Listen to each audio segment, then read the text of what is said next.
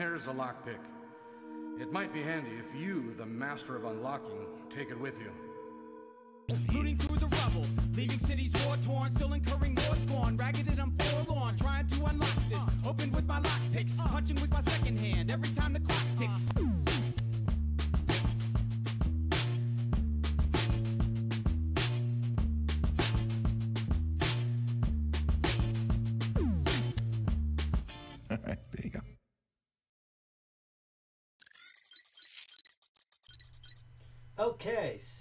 Give us a moment or so as the first instant reward goes up. We're just testing to see if the audio works. Hi, Game Master. Nice to see you. Okay. Perfect. Audio works. Yay. Move this chair over. All right. Hi. Happy New Year, everybody. Welcome to this show, The Master of Unlocking. Uh, with introductions here, my name is, uh, people on the internet call me Side Pocket. I am one of the two co founders of DEF CON 201.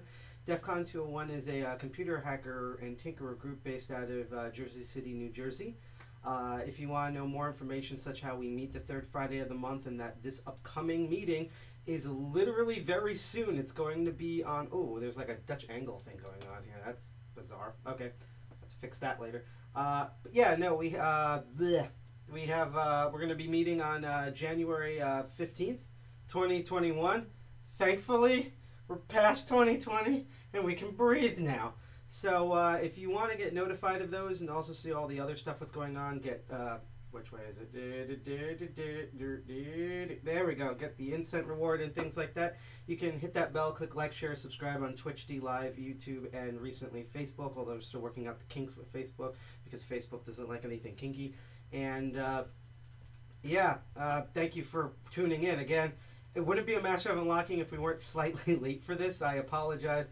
Uh, there's a bit more set up than I thought there was going to be on this episode tonight. So, but we're ready here. So, uh, as I take a quick hydration squad break, first hydration squad of the new year. Remember to stay hydrated out there, folks. What is the Master of Unlocking? Well, uh, oh, also, you can check us out by going to our website, defcon201.org, and we have a ton of social media, including our Twitter at defcon201nj, as well as we're on Instagram, the hostux.social instance of uh, Mastodon, GitHub, all of those. So, uh, welcome to Master of Unlocking.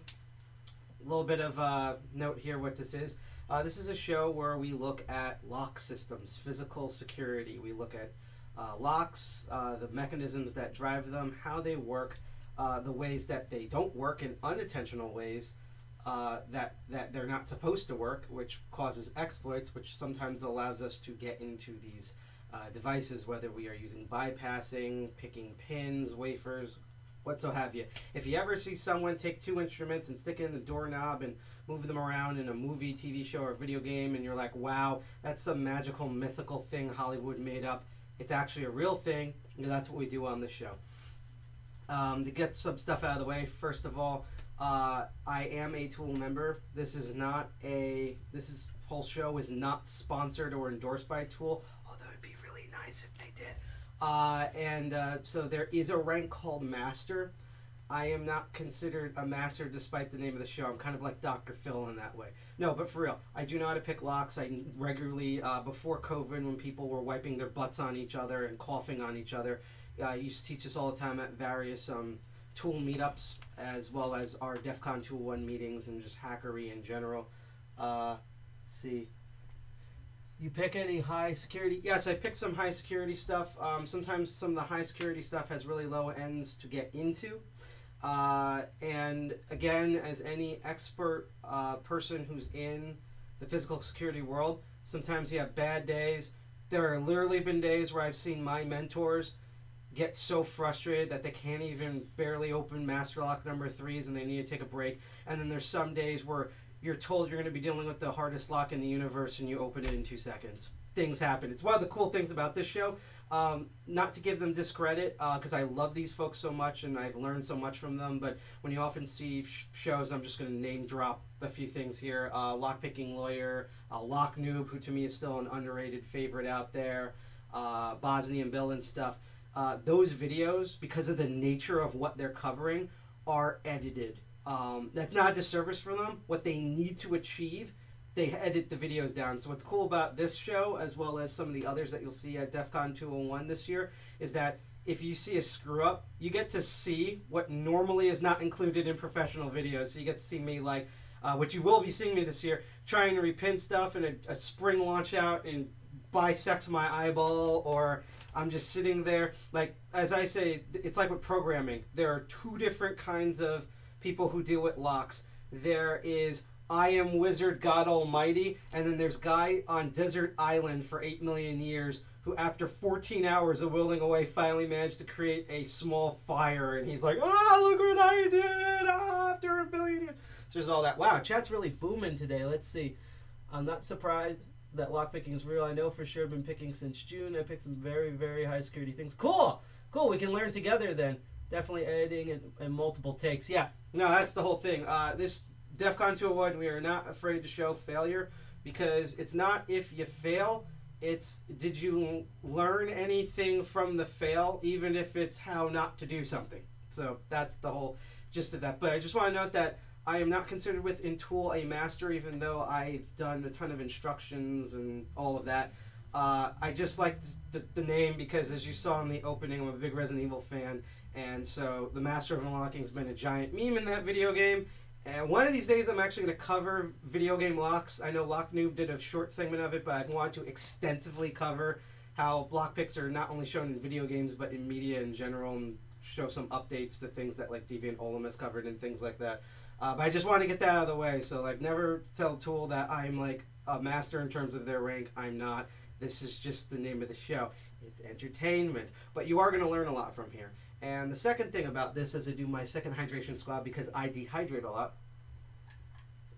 Don't worry, we're going to get into the good stuff really quickly. Um, even though this show is not sponsored by TOOOL, and in fact, one of the benefits is that you're going to see some company logos that are coming up. I'm not sponsored by any lock manufacturer. I am not sponsored by any lock uh, locksmith uh, smith service or repair service or installation service, and I'm not sponsored by any lock picking tool company, even though I have favorites that I like in terms of just individual tools and components. And I, you'll notice soon that I lean to a bit to one side, but you can always hear me explain why. And believe it or not, it's not Peterson. That's like a meme now that everyone uses Peterson. I, I Peterson's really high quality. I've said this before. Uh, every tool manufacturer has its faults. There's always positives and negatives, so just note about that. But um, even though this is not a TOOOL sponsored stream, they have two amazing rules. Uh, as I cover the liquid, the liquor up here with my fingers, they have two amazing rules that we always cover on each episode. You, you think that was because it was 2021, we would skip? Nope, we are doing this every single episode because I don't want to see you folks go to jail or get sued, I don't want to see me go to jail or get sued for this. So here we go. Uh, first rule do not pick any lock that you rely on. You have no idea how many times I have taught lock picking techniques or bypass techniques, single pin picking, things like that. And the first thing they tell me, even though I've already gone over this rule, is like, wow, there's been a thing on my front door. I've wanted to see what that's like. Or I have a lock that I use for my gym locker. Or I want to test my safe where I save my deposits. And I'm like, nah, because you rely on that lock. Uh, not only do you have a risk of breaking the lock mechanism, you also risk breaking your tools. And pretty much every time you pick or bypass a lock, it becomes easier and easier to uh, pick. And again, eventually that lock system breaks down. So all the locks and equipments. And thank you, uh, Zen Flash, for uh, that follow on uh, Twitch. Don't worry, for Zen Flash, we will get into the bit. I just have to cover legal jargon here, and then I'll read a bit of the chat and we'll move on. Um, so you rely on that lock. Uh, don't do that. All the locks mechanisms that you ever see on this episode, or in past episodes, or future episodes, or episodes in other dimensions are literally here for me to practice on to learn, and by extension, which is what they're normally for when people aren't vomiting on each other and being like, no mask, uh, and also when police are not running around beating people's face in, uh, are only here to teach you, as well as me, how to pick. I do not use these locks to secure anything. Uh, I, I don't even I don't use them to even secure a rubber band. Okay, that's they're literally here for training purposes. And the second thing, before it gets too hot in my faux Tim Pool hat, give you a hint, slightly bad haircut, my fault, um, is that do not pick locks that you don't own. Now, this sounds like common sense, but we live in the United States. Past 2016, in 2020, there was a lot of things that died. Um, sarcasm uh, died. Uh, irony died. Uh, dignity died completely. And common sense. Those are the four horsemen of. And so if you walk around after this show or any of these massive unlocking shows and are like, hey, I saw that blah blah blah blah lock on that show. I know exactly how to do that. I have a thing here that will jig it. No, don't do that. That that's that's somewhere else. You don't own that lock, right? So one, you're probably going to be technically trespassing. Two, there's a reason why I put the lock out there. Three, the owner's probably gonna get really mad. Four, most in America, a lot of people own firearms that or a baseball bat. That person's not gonna be happy. So either way, you're screwed. So if you follow these two rules, do not pick any locks that you rely on, and do not pick any locks that you own. You're golden. You will be. I mean, I'll put it this way, and I'll type this in chat in a moment. There is a section of the TOOOL website that's the Open Organization of Lock Pickers. TOOOL with three O's. T O O O L us slash either law or laws. I believe it's laws with an S. If one doesn't work, just try one with an S, one without an S. And it will give a modern listing in the United States only, I might clarify, about all the legal standings. But in general, if you follow those two things, you should be good. Again, all of these locks on this show, I do not rely on to lock to say to lock anything, and I own these locks. I personally went out and bought them, or people have donated them to me because they don't need them anymore. These locks are just here for, as they call it, educational purposes only, and that's that. So we both good? Okay, just catching up on chat. Uh, uh, multi-pick or lit for me personally. Believe it or not, I, I've used. It seems like multi-pick has good base sets. I've actually never like extensively used anything from multi-pick, uh, but they're one of the more common brands out there, and I've heard great things about them. So good that you find something. Uh, Peterson's actually started to be bad quality now due to their new process of making picks. I heard about the burning thing. Yes, I saw about that. They're like laser cutting uh, their their government steel, and that's been causing issues. Uh, there's actually, real quick, a more fundamental issue with. let me just nerd out for a bit before we tilt the camera down and we go to classic, you know, lock picking hand view. Uh, there's actually, by the way, a reason why in the beginning and the end, in certain parts, I have it to my face, uh, as opposed to a lot of other lock picking videos. Uh, if you want to know, I'll answer that question later. But with Peterson's, um, again, usually good quality steel stuff, beautiful handles. Everyone loves their handle. I want to. I need a handle, man. I don't have an identity unless I have a handle. But um, there's a design flaw I've seen in a lot of them where there's essentially a notch right before it goes into the handle. So it's like you have the pick and then the neck of it, and then there's a notch and goes in. And that notch, just because of the nature of how physics work, if you put too much torque on that, it's easier to break than if the neck was just a straight piece of metal, even if it tapered off. Because with that notch, you actually have a focal point now where that's exactly where it's going to break, and thus it makes everything structurally weaker. Again, as I listed, there's some positive about this. All these tools have them, so I just want to put that out. Uh, yep, and their owner has some issues. Dang, I was hoping to get opening my chastity belt. Funny you should mention that because I actually forgot to put that on the list of. Uh, well, actually, this is a good segue to what this episode's going to be about. So, uh, here's the gist of it. These next two episodes are going to be laid back. Um, I'm once again getting stuff in the mail.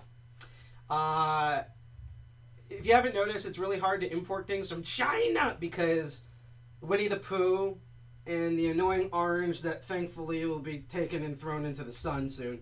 I wish we could do that with Winnie the Pooh. Uh, do not get along and have made a bunch of stupid tariffs. And there's a like, I'll put it this way: there's a bunch of base lockpicking tools in China that are absolutely terrible. Not even because they're Chinese, because I've seen similar manufacturing methods through different countries. It's basically the cheap way to make lockpicks. There's also some extremely, really good high quality tools, and there are some things in locks that are really handy, especially if you're an instructor like me, um, to teach people, and they're only made in China, and yet it takes, I literally, there's a thing I'm going to show here that took forever to get to where I live, and I'll get into that in a moment. Amazing piece of kit from China, by the way. It's like been like my one of my favorite purchases this year, but because that's bad. Now, because someone tried to scam an election and thus ruin Christmas, everything is like ordering from China. Like even sparrows, where I normally rely on, like oh, like literally they're to show up in five days. Now they don't know when it shows up. So that's why I'm giving sort of a like I'm to teach things and show off stuff for this episode, and the upcoming episode should be on the 17th of this month. And there's not going to be, even though we have an extra week this month, we're only the first and third Sundays. So February, first Sunday of February. Uh, but um, I figured because I'm going to be ordering a bunch of stuff in chunks that I would give everything time to arrive here. So my thinking is by the time February starts and it's the third episode of this year, I will have everything to start showing off like truly completely new things in terms of being back on schedule. Okay, so that's kind of what we're doing right now, and I'm going to explain a bit what it is. Just want to read uh, uh, if there was any chat updates. Okay, no. So what we're doing today is I, I realized something kind of funny. In fact, I'm actually going to tilt the camera down a moment, re put some more water in here because we're going to be here for a bit, and then we'll get right into this. Hi, Disseldom Mona. Hey, welcome to the new year. Don't worry, I'm still going to send you the um, game code. I've just been super busy for no reason. So, uh, sometime this week, uh, especially if you already sent me your email, you will get the code. Uh, don't worry about that. I'm not trying to like share documents or something from Russia. Uh, he won a contest thing, and I, I need to reward him. Uh, someone wrote, "I don't think China is really a threat besides companies willing to be complicit in human rights abuse." Yeah, no. Basically, what you have, just real quick to get all the politics out of the way, we have one country that has human rights abuses being yelled at by a country who historically and now has just been nothing but human rights abuses, basically saying as a pot to the kettle, you won black MFer. That's what's been happening. And we all suffer for it instead of solving the problem, which is human decency. but we're not learning that today. We're going to be learning lock stuff. So someone said, I love your humor, but I find many people in Locksport community get turned off quickly when politics are brought up. Uh, yeah, no, we, we don't give a shit. Uh, it's the whole thing about like you know everyone's like oh you know it's the same thing we have in coding. Uh, by the way, scenario. This used to be common a lot in older DEF CON and even parts of Hackers on Planet Earth. You ever go to a convention and there's always something two things about this person. There's always like, man, why do we have to talk about human rights and like WikiLeaks and all of the can we just talk about Rust code and Gentoo and Arch Linux and Lisp? And you know those two things. First of all, that person has the worst takes. Like that's the person you find out where they're like, "Oh, the age of consent should be lowered to five, and it's like, what? Second of all, I love when people say that and they're wearing my their free Julian Assange shirt and their Kevin Mitnick hat and their EFF sticker and their this laptop fights fascist sticker and this don't tread on me sticker and their like um, uh, Aaron Swartz boots and stuff and F fuck the NSA in a giant drone copter light, but they don't want anything to be political. Yeah. All right. So a little bit on chat, and then we'll get right into the meat of it. Uh, there we go. Just open. Nice. Congratulations, man. Did you yell open when you did that? Because that's like the tradition. You yell open. Even if no one's there, just yell open. You should be good.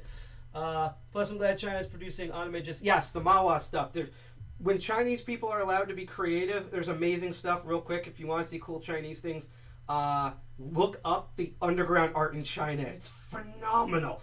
Uh, you know, like if you've heard of Ai Weiwei, he's awesome. That's part of that scene. He's the tip of the iceberg. There's just there's people who are crazier than him. It's amazing.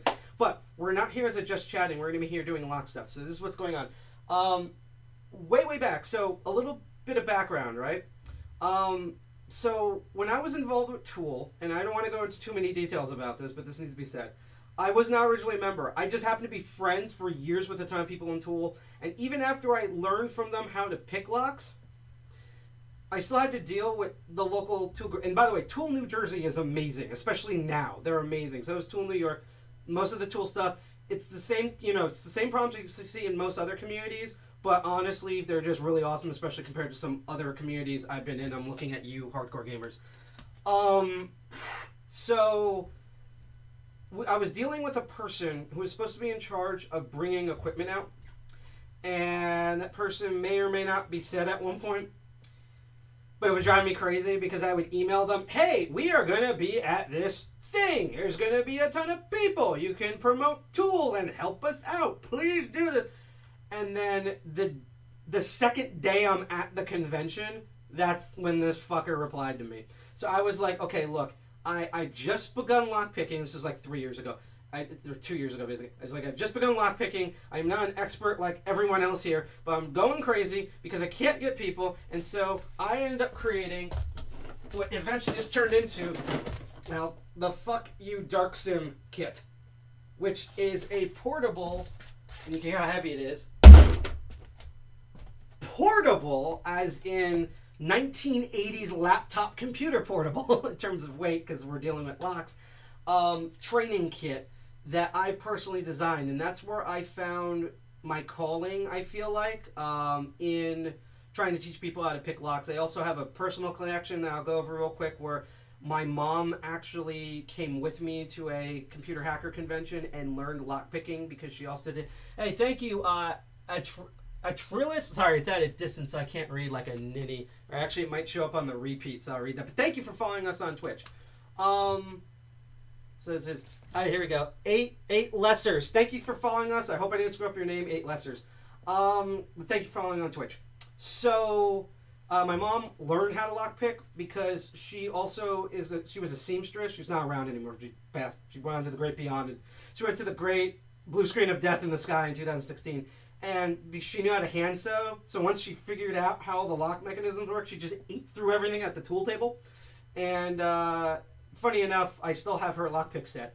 And so doing this kind of makes me feel connected to my mom. And my mom loved to teach, and I love to teach. And it turns out I'm apparently really good at teaching this.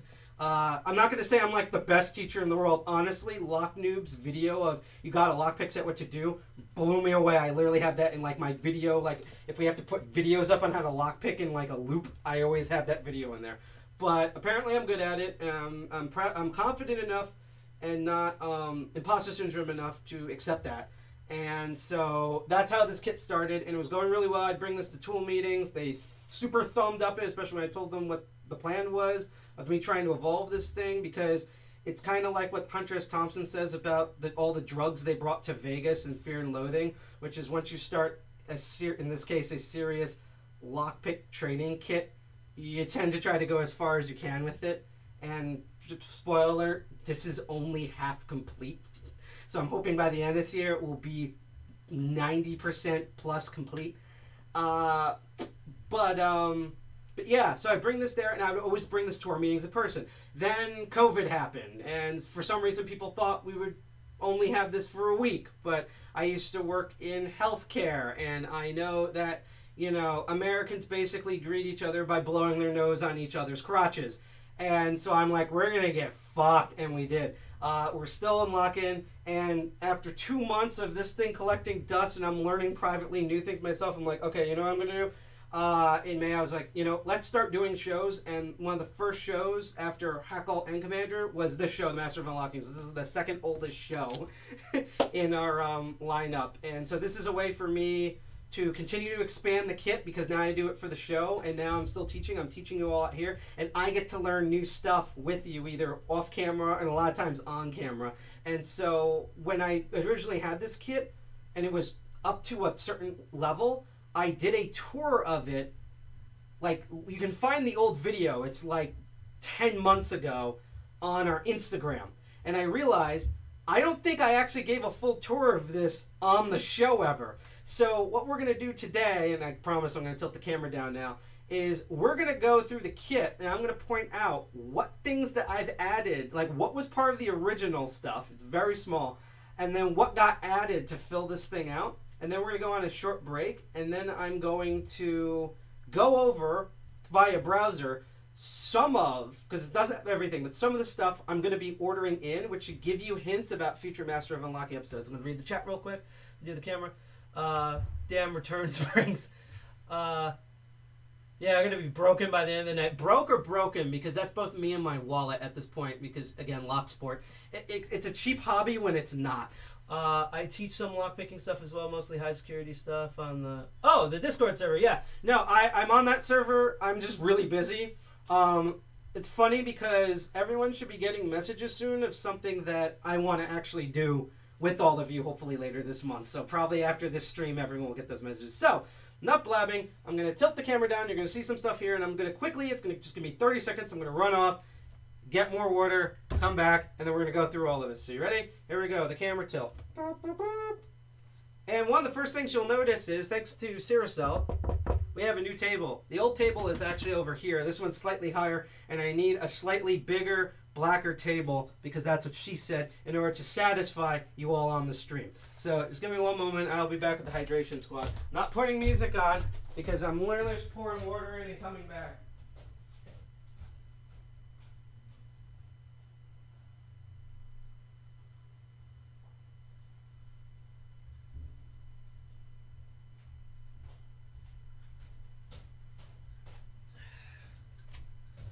Alright, I'm back. Did the world explode? Nope. Good. So let's see if we can fit this monstrosity on here. Hopefully the table doesn't break. Because honestly, that's what I'm afraid of the most here. Because, again, it's portable. I can walk forever with it. Because I'm like a tool person that's kind of hopeless, in which, you know, everyone's moving literally one ton's worth of equipment. That's why I'm going to try to put this down as lightly as I can. Because this thing is heavy. So let's see. I think I actually have to move the rest of this stuff off the table. We will get to those in a moment. Because these are expansions that won't fit in here. And note that I don't truly have everything that I want. Because, and I will point out, there's like one or two pieces I missed. Um, some of them I actually carry on with me because way later on I'm going to get a way upgrade to carry on because when you see my actual carry on, you're probably going to laugh. Although it's taken me far in my journey learning all of this and also helping out people. All right, so this is the kit here. Let's see. Um, I'm side pocket with DC 201 in brackets on the side of the name. Uh, let's see. Snow has taught me a bunch. Oh, cool. Definitely been a real natural talent at picking, but even more impressive to me at conveying the information to new pickers. That yeah. Now I've been told that, so I guess you'll be the judge. Even though we're not going to go any tutorials, this is more of a show and tell on how I present stuff. And you'll notice that I often include a lot of humor in these because I really hate tutorials that are so uh, dry that you literally need WD-40 for them. So let's see. A lock is a lock. Yeah, no, I've, I've had those. My favorite, by the way, uh, no, no disrespect to people at TOOOL, is I have been to a couple of meetings that might been TOOOL, might have been not, where they literally read the um, the PowerPoint, meaning there's no deviation. This is, you know, standard mission area 8 p.m. levels of reading the goddamn thing. There's no flourishes. There's no any extra tidbits that they might know as experts. And a lot of these people, I, in my opinion, are more knowledgeable than me. But again, there, there's different types of intelligence. A lot of these guys are brilliant pickers. Just because you know how to pick locks doesn't mean you're also good at teaching them. Doing both is extremely rare. So, where do we begin? All right, so some of this stuff got rearranged around a little bit, but uh, first of all, I'm using a Husky case. Uh, I love these. These have actually gotten cheaper near me to the point where I need to pick up the second one because the overall goal is by the end of this, hopefully by the end of 2021, if not sooner, there will be two of these. And if you notice these little latches on the side, you can actually stack these and hook them together. And all I need is another one. I'll have a second one here.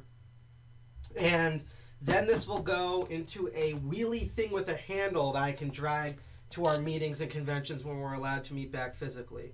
Uh, can explain some stuff. Some stuff is hard to explain. You have to feel it. Yeah, no. Um, one of the things I just I was just hitting puberty there. I'm sorry. One of the things I often explain to people with locks is that a lot of times, no matter how good you are teaching this, when you're explaining this, you feel like you're explaining the Force in Star Wars.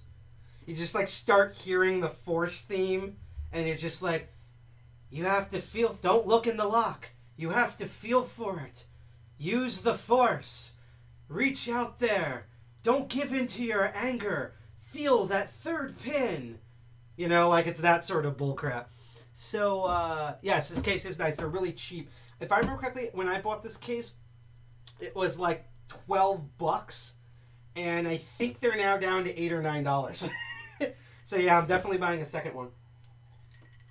Also, there's a method to the uh, madness here. Obviously, these husky cases are normally designed to hold small parts, so they're designed to hold like nugget stuff, which is great because this plastic can take actually a lot of it's cheap, takes a lot of beating, and you have all these different trays, and I can not only organize but just be like, you know, for example, which I will show here. Oh, uh, we need to, um, you know, okay, I need to take the basic sets out here. Like I know I can just do that.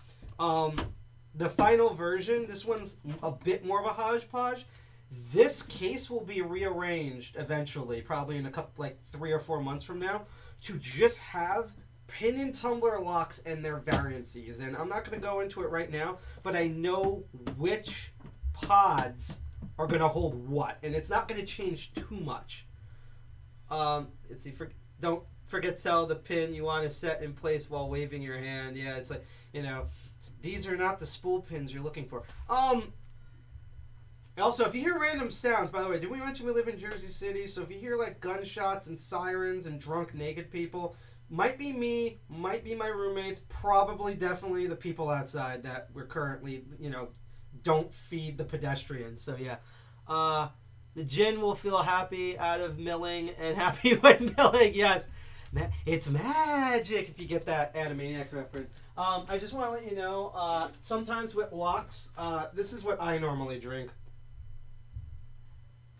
I can do about two shots of this. So I'm not trying to brag. I'm just saying I'm crazy.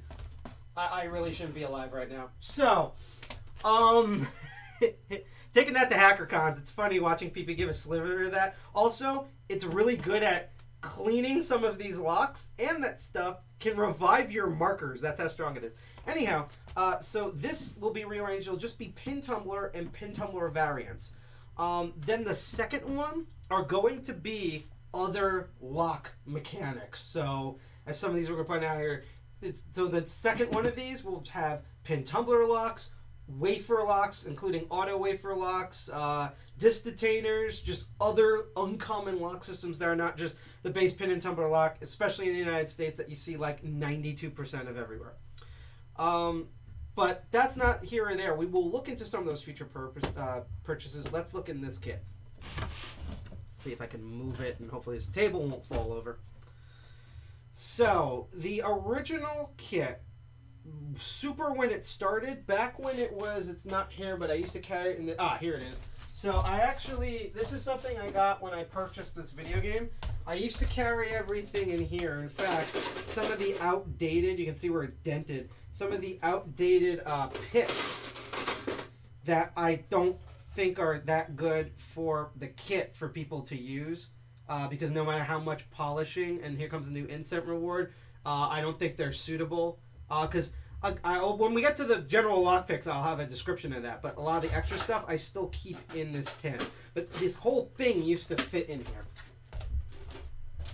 But you know, eventually, the bigger and blacker, the better. So, if we remove two units from here that we'll get into later, and actually, this is actually where I'm missing some things. I should probably go back and uh, grab them.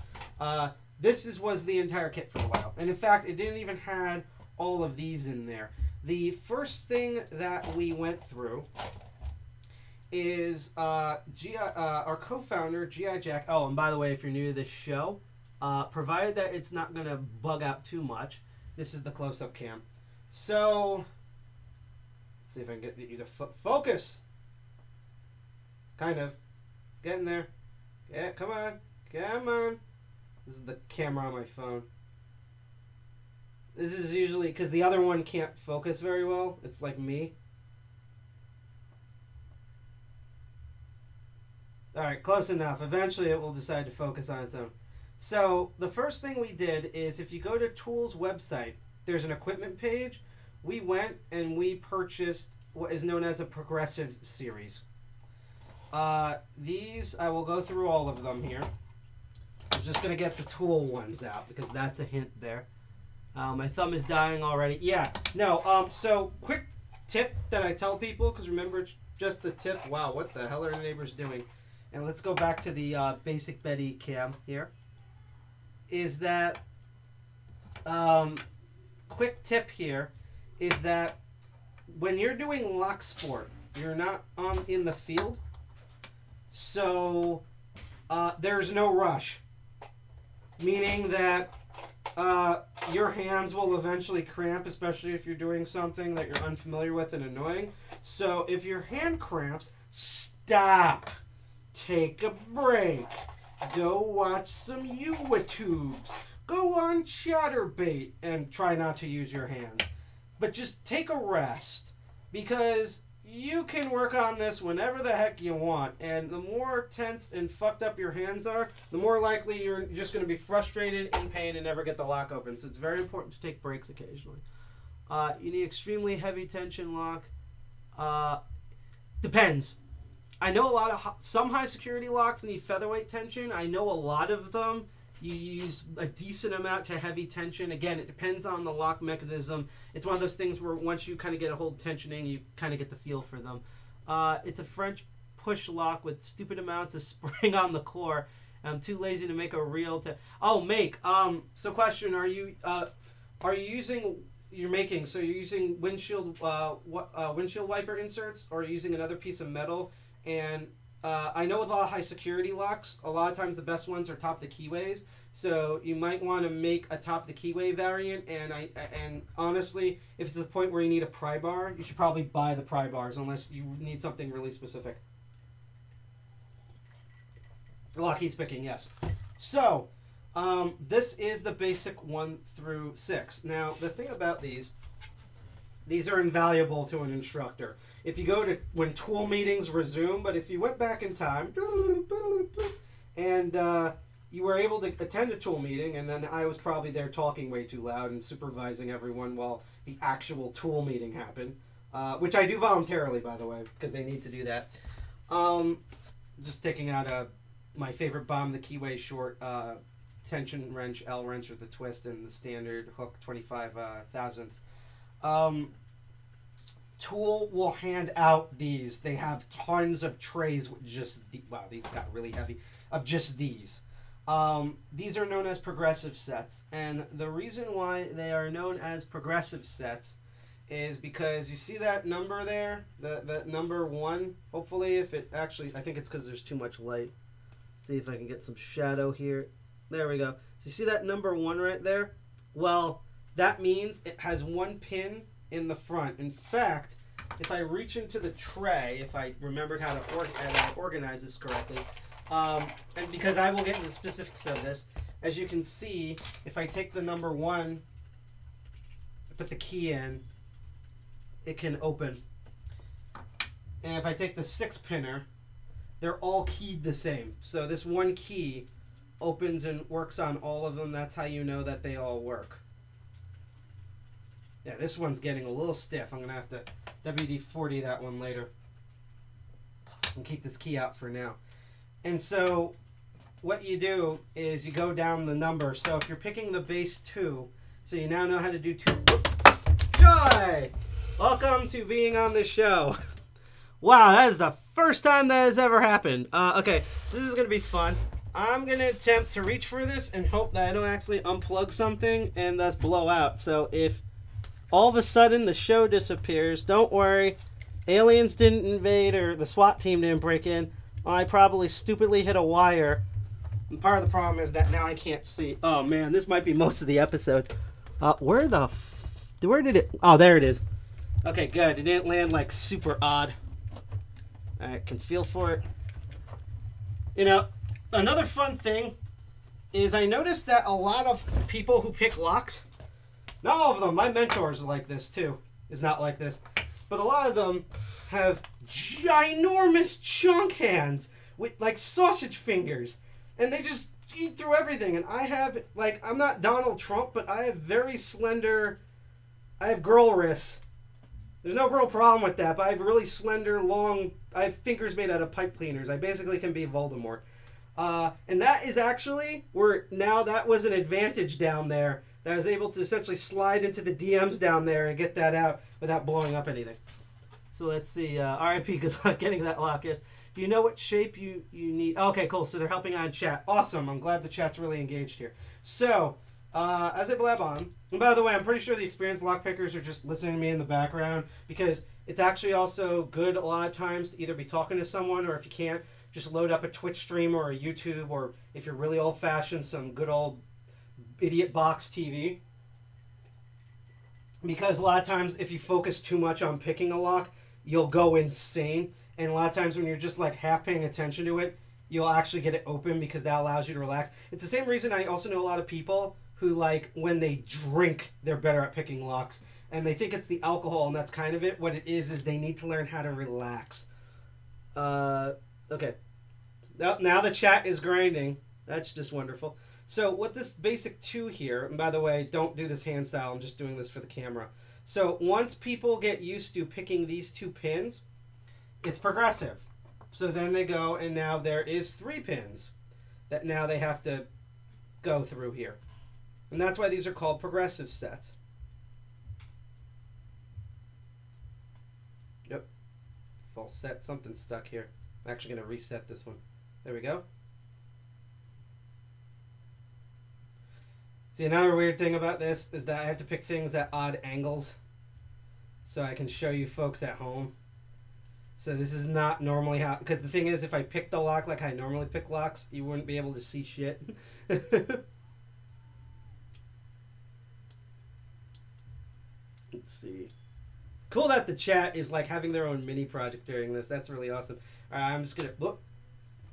Wow, apparently my hands are made out of goddamn butter today. Actually, let's just get out of the close-up camera here for a moment because we don't need that right this second. I just want to pick out, I just want to pick this number three here, just because, because I could go through this entire thing.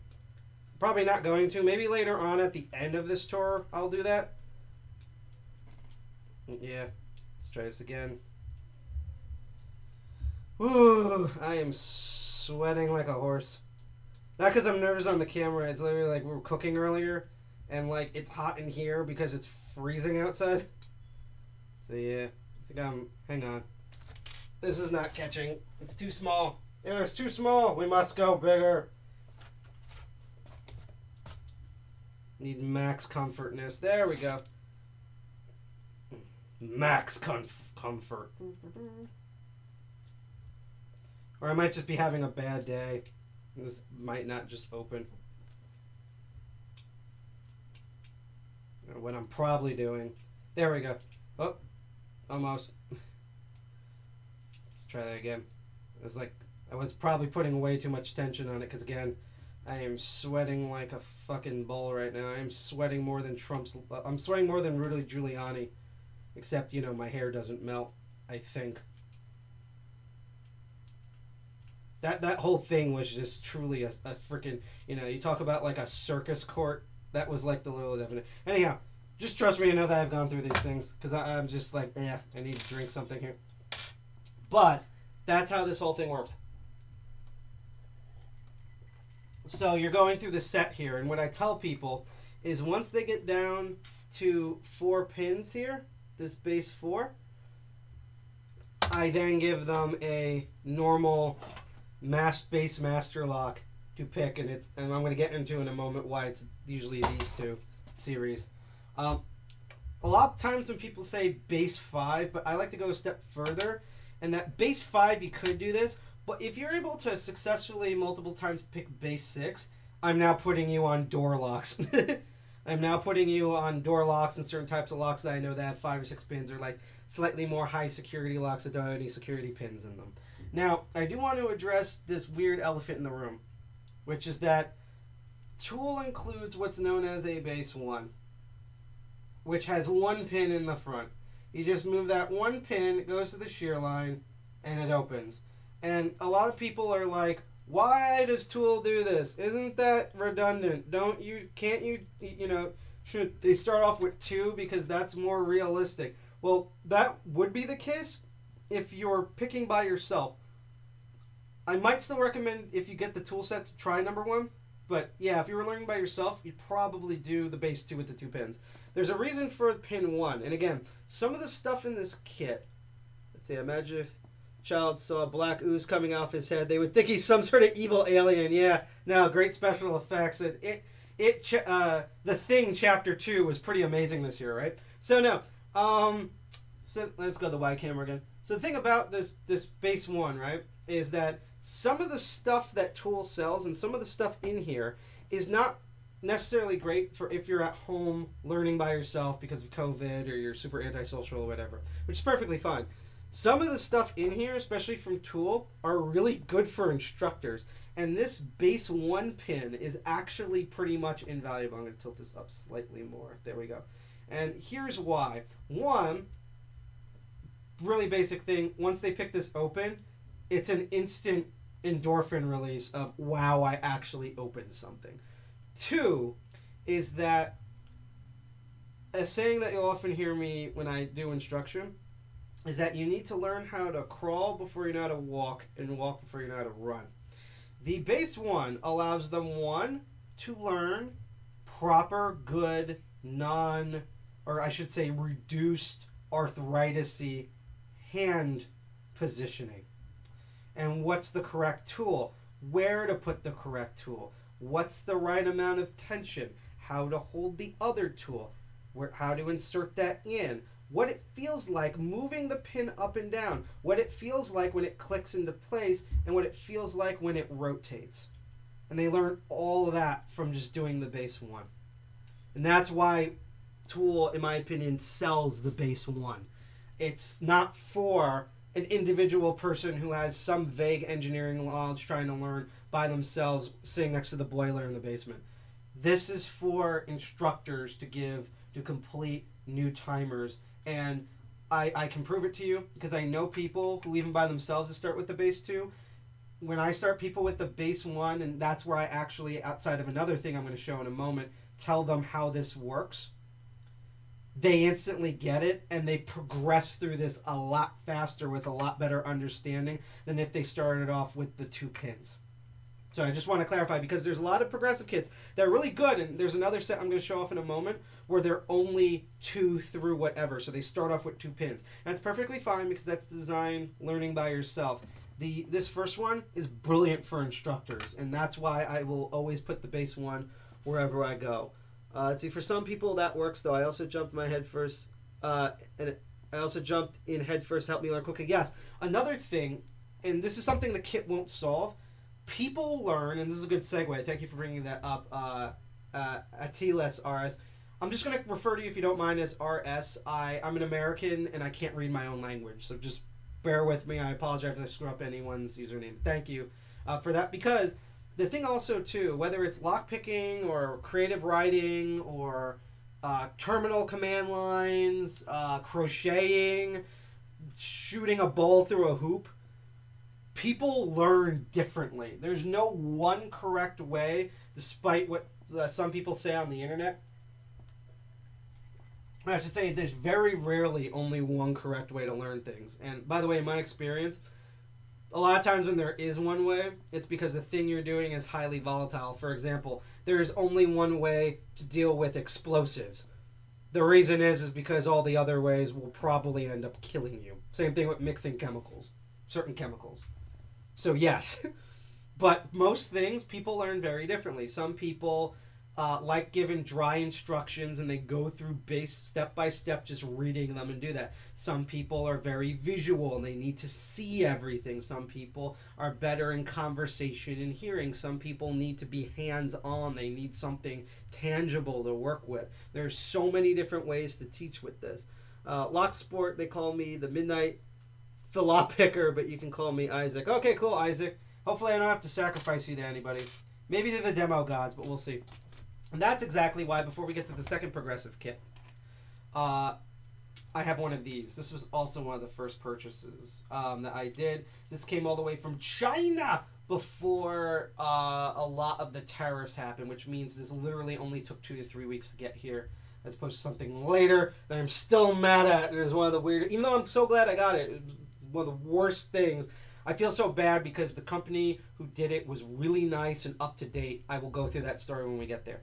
But I have one of these. This is a clear padlock. Um, I love this thing so much as a teacher in terms of an instructor instructing students. You can see almost everything in here. You can see the springs. The, the only thing you can't see is unless I turn the lock a certain way. You can't see the key pins here, which if I had to pick, I could poke. And um, that rhymed. Uh, and you can't see the interacting. That would be a metal one that you'd have to do slices of, which I will eventually either buy or learn to do that myself. Uh, but I also like that you can see the actuator, you can see the locking pawls, you can see all the mechanics in here. What's also nice about this is that they literally designed this to be worse than a master lock. This is quite literally the shittiest lock on the planet, and I love it for that. You can see here with the key how flat the bitting is. I barely have to move any pins to get that open. It the shackle itself is not ball bearings in terms of its locking parlor. Its mechanism is completely unshielded, which means this is a terrible lock, but this is great for an instructor because I get so many uses out of this guy. Uh, essentially, and you've seen this through multiple episodes, when I try something new, such as showing bi- how bypasses work or single pin picking or different techniques, this everything works on this lock. Okay, note this one's not repinnable. You can't open this flap. There are newer ones that have holes drilled in with screws where they put the springs and stuff where they are repinnable. If you go to shop for these and you want one that's repinnable, look for it that specifically says repinnable. Otherwise, it'll just be the standard um, non-repinnable. It's just a solid lock body. You would literally have to destroy this. At this point, you'd break the lock in order to repin this thing. At this point, that would be a waste of space. Um, another thing about this lock is that uh, yes, um, is that um, let me hydrate real quick. I love about this lock and this kit. Um, the brain just died. We're sorry. The brain cell you're trying to access is unavailable right now. Please leave a message after the fart. Um, but yeah, no. Again, this is easy to also to know. Yes, I remember this. So another thing is I like to bring up this lock too because I tell people unless it's really specific circumstances, you are not picking this lock directly. This is literally me for hold to hold and visually display. So as I can show you here, um, I'm going to hold this in an odd way. So again, again, we're not teaching tonight. This is show and tell. So don't necessarily hold these and do things if you're new the way I'm doing them. It's not even that I'm such an expert. I literally have to pick this in an odd angle just to show everyone on the camera. Uh, so yeah, like you can see here, if, if I can get close enough to some degree, of like each part moving around. And so when I lot most of the time when I visually show this as opposed to TOOOL's really slow moving uh, sad 2D MS Paint drawings, it makes people understand why. And actually at this angle, if I can get it to focus correctly and it has enough light, I can actually go into the lock body here and move the key pins up and down. So I tell people like those are the key pins there. But I tell people I'm not going to let them pick on this for the most part because since it's most there is metal parts obviously the shackle the uh, the the, the tumbler core but the body is mostly plastic which means this has a very squishy feel and it also because everything glides correctly that's what she likes um, it makes this honestly easier to pick.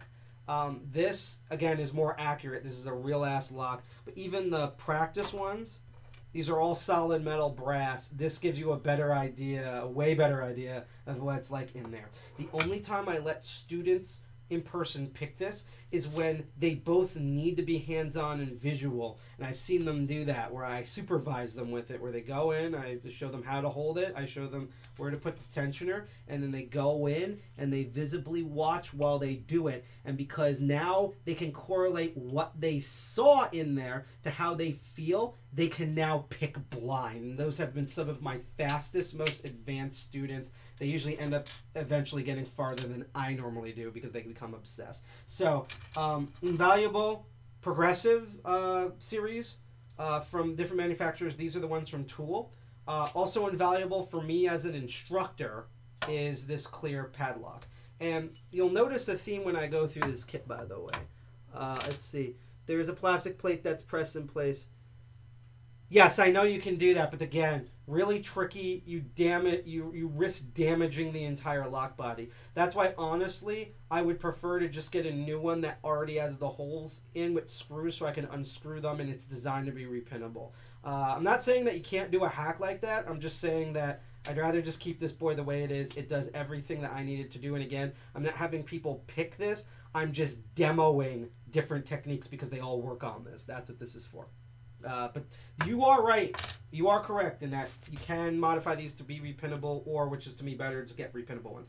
But you'll notice a theme here that I'm going to do, and so I'm going to get this out of the way before we go to any of this other stuff. Um, my goal by the end of this entire kit is here's kind of how I sort of teach people. If there is a lock system, and I can't do this with everything, but I try really hard, and I'm actually mostly way to there. The first thing I'm going to get is a clear and or uh, windowed, so dremeled out so you can view the inside. Basically, a, a lock, a practice lock, a visual aid that people can see the inner workings of for a concept, right? Let's change cameras. So I get a clear or one that's dremeled out. I usually just prefer clear because I can show them at all angles. Also, I can vis- easily visibly identify this. Um, then I get either a progressive series to train or locks that are trivial to pick with that technique, as long as obviously the correct tools and picks to pick them apart or bypass them. And then I try to get at least one or two intermediary locks, sometimes just for fun. I will on purpose go out of my way to either get a mystery lock or a big pain in the ass lock for people to try on. Because occasionally when I show up to meetings, I get someone who's like, yeah, no, I just do everything. I'm like, here's this thing, have fun for two hours plus. And that's that's what happens here. Um, but that's my pattern. I try to get something where I can visibly show the mechanics to the best of my ability how it works. So I'm not describing abstract concepts or showing like bad pictures. It's an actual like here you can see it moving and you can feel it and stuff like that. Then I get either I either make or get a something that is progressive to learn or locks that are the master lock equivalent of that lock type where they're super easy to pick and then I try to do one or two intermediary ones that you would most likely see in the real world. One that is a little bit more challenging than the stupid easy one, and then one that will actually give something and or has actual security features in them or on them. Let's see here. Any luck on the? Oh, okay, everyone's keeping up in uh, chat here. See, it's meant to. I'm going to help you out later with this. We're going to get to that.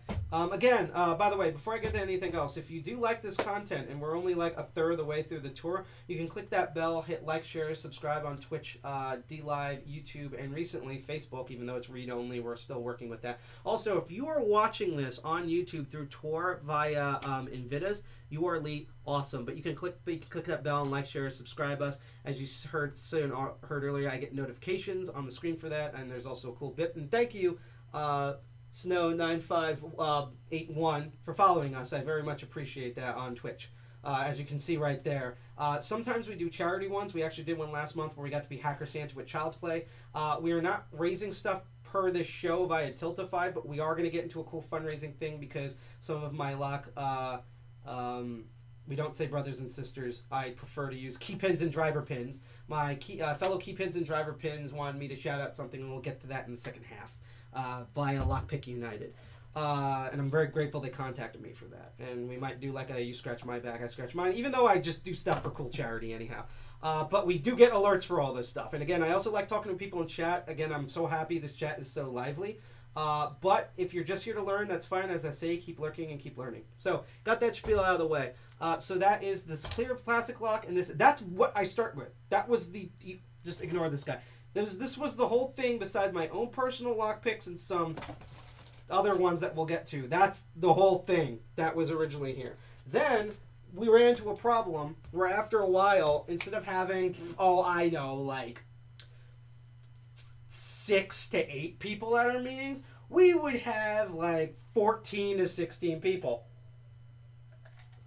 So if you have someone who's on like the basic number three, and now they want to try the basic number four.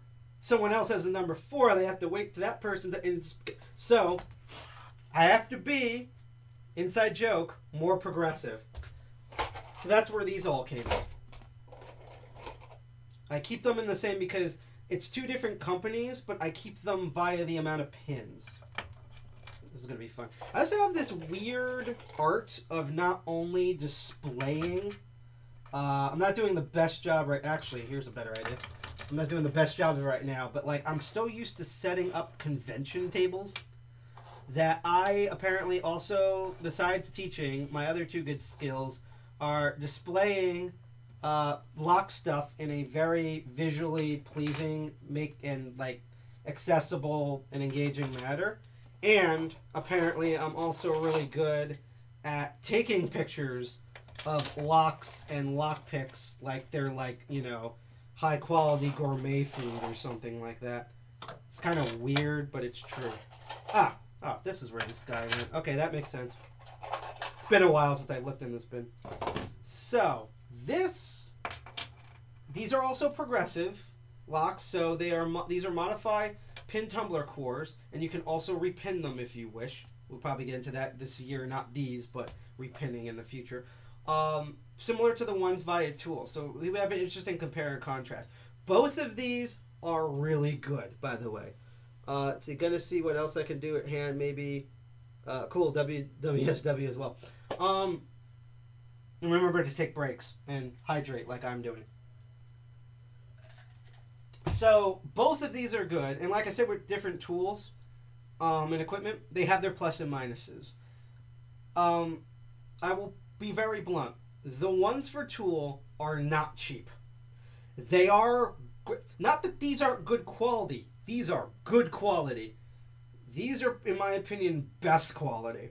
And that's not because I'm a TOOOL member. You get what you pay for. These are handcrafted by TOOOL members. They are engineered for that. All you have to do is actually just stick the stickers on them, and you're good. Uh, let's see. Primus in the hand's really cool. A really cool skill that shows a higher level uh, of picking. Yeah, in hand. Uh, we do most of the stuff, by the way, on the show in hand. At least we try to. Uh, actually, a vice that won't break this table is something I'm working on. Um, but there's some interesting differences that you wouldn't think would change too much, but it is kind of fascinating.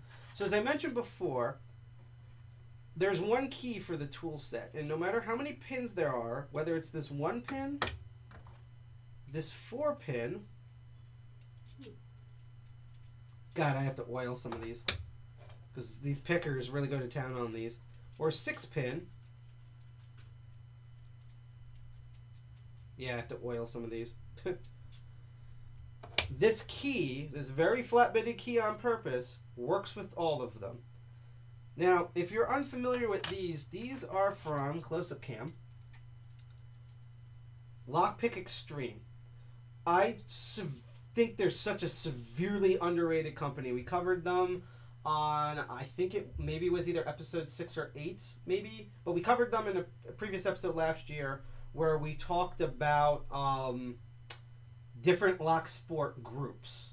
And Lockpick Extreme uh, is they're they're a mixed group of people, but they're primarily founded and run by lock sporters who just happen to be women or self-identify as women or female. And you'll often catch them. They do a bunch of business things. You'll also they're probably most well known for doing all the lockpicking for the Diana Initiative. Uh, a lot of the lockpicking, like villages that you see at cons and conventions and professional trades are done. Ooh, that's a good zoom. Uh, are done by lock uh, are done by TOOOL. Um, Diana Initiative, just because I guess, tries to partner up with Lockpick Extreme, and they're really good. I heard their instructions are really good. And BosnianBill recently reviewed their main tool set, which I like because they're also color coded. And again, I think they're so underrated. It, it boggles my mind that Lockpick Extreme does not come up as all you know. We hear of you know TOOOL and Peterson and Lockpick United and Sparrows and things, but I feel like Lockpick Extreme deserves a lot of credit. And here's something kind of awesome and genius, right? Is that these keys, you'll notice that unlike this one, which was just one key and blank, each of these has their own key and they have two sets just in case you lose one. So let's take a look here. This is the two pins. So in addition to having two pins, let's look at this key. this key is some of the flat bitting. And note, they actually did a full bitting on this. So it's not like they did like the first two here and then gave up. They did a full bitting. And in fact, if I put TOOOL's Universal Key for their Progressive Series next to it, you probably notice that, and I'll get a black background in a moment, that these two keys are so flatly designed that they are not that they are very similar to each other in terms of their flatness. They're like the flat Stanley keys. This upper key here is the TOOOL one that works on all the, the progressive locks. This one only works in the number two. Remember, they're each individually keyed. And this is why this is fascinating, because this is only something someone who's been doing locks for at least a decent amount of time will know. So that was the number two. Let's look at the final one, the number six. So in addition to having six pins, there's no security in here, it's just pins. Let's see if I can take this guy out, because it seems a little worn out here. There we go. Yep, hang on. Oh, that's why. Shoot. I must have put these together drunk and put the wrong key somewhere. It's gonna be one of these. It's three, isn't it? No? Hmm. Wait, is this one is this one too stiff? Hang on. Ah, got really stiff. That's why. Okay, so this is the right key. I, I, I just need to really WD-40 these. But yeah, so for comparison, um, let's get that bucket. This top one here is the bitting for that two pin uh, lockpick extreme practice tumbler. Note how very flat the bitting is, right? This is the number six at the bottom here. You'll notice the pinning, the bidding here is a bunch of high, low peak valleys. So in addition to increasing the pins, the difficulty in the range of bitting also increases. So for example, you'll notice here when I bring out, I'm multitasking here in my hands, the three pinner, and we'll put it next to the two pinner here, if I can grip this properly. There we go. You'll notice that while the three pin one down here is still more flat, you'll notice it peaks and valleys more compared to this upper two pinner one. And it keeps going in variances until you get to that six pin one that's just up and down and all around Sonic Adventure. And that's important because you could argue, and I would argue this, and this is not a fault of TOOOL. There's a specific reason why I believe they key everything with the same flat key because it's way easier for the instructor to just worry about this one key instead of every instead of me going around, which I do, trying to make. And you saw earlier, I got confused trying to make sure each key fits these different uh, tumblers for Lockpick Extreme. So this is just easier for the instructor.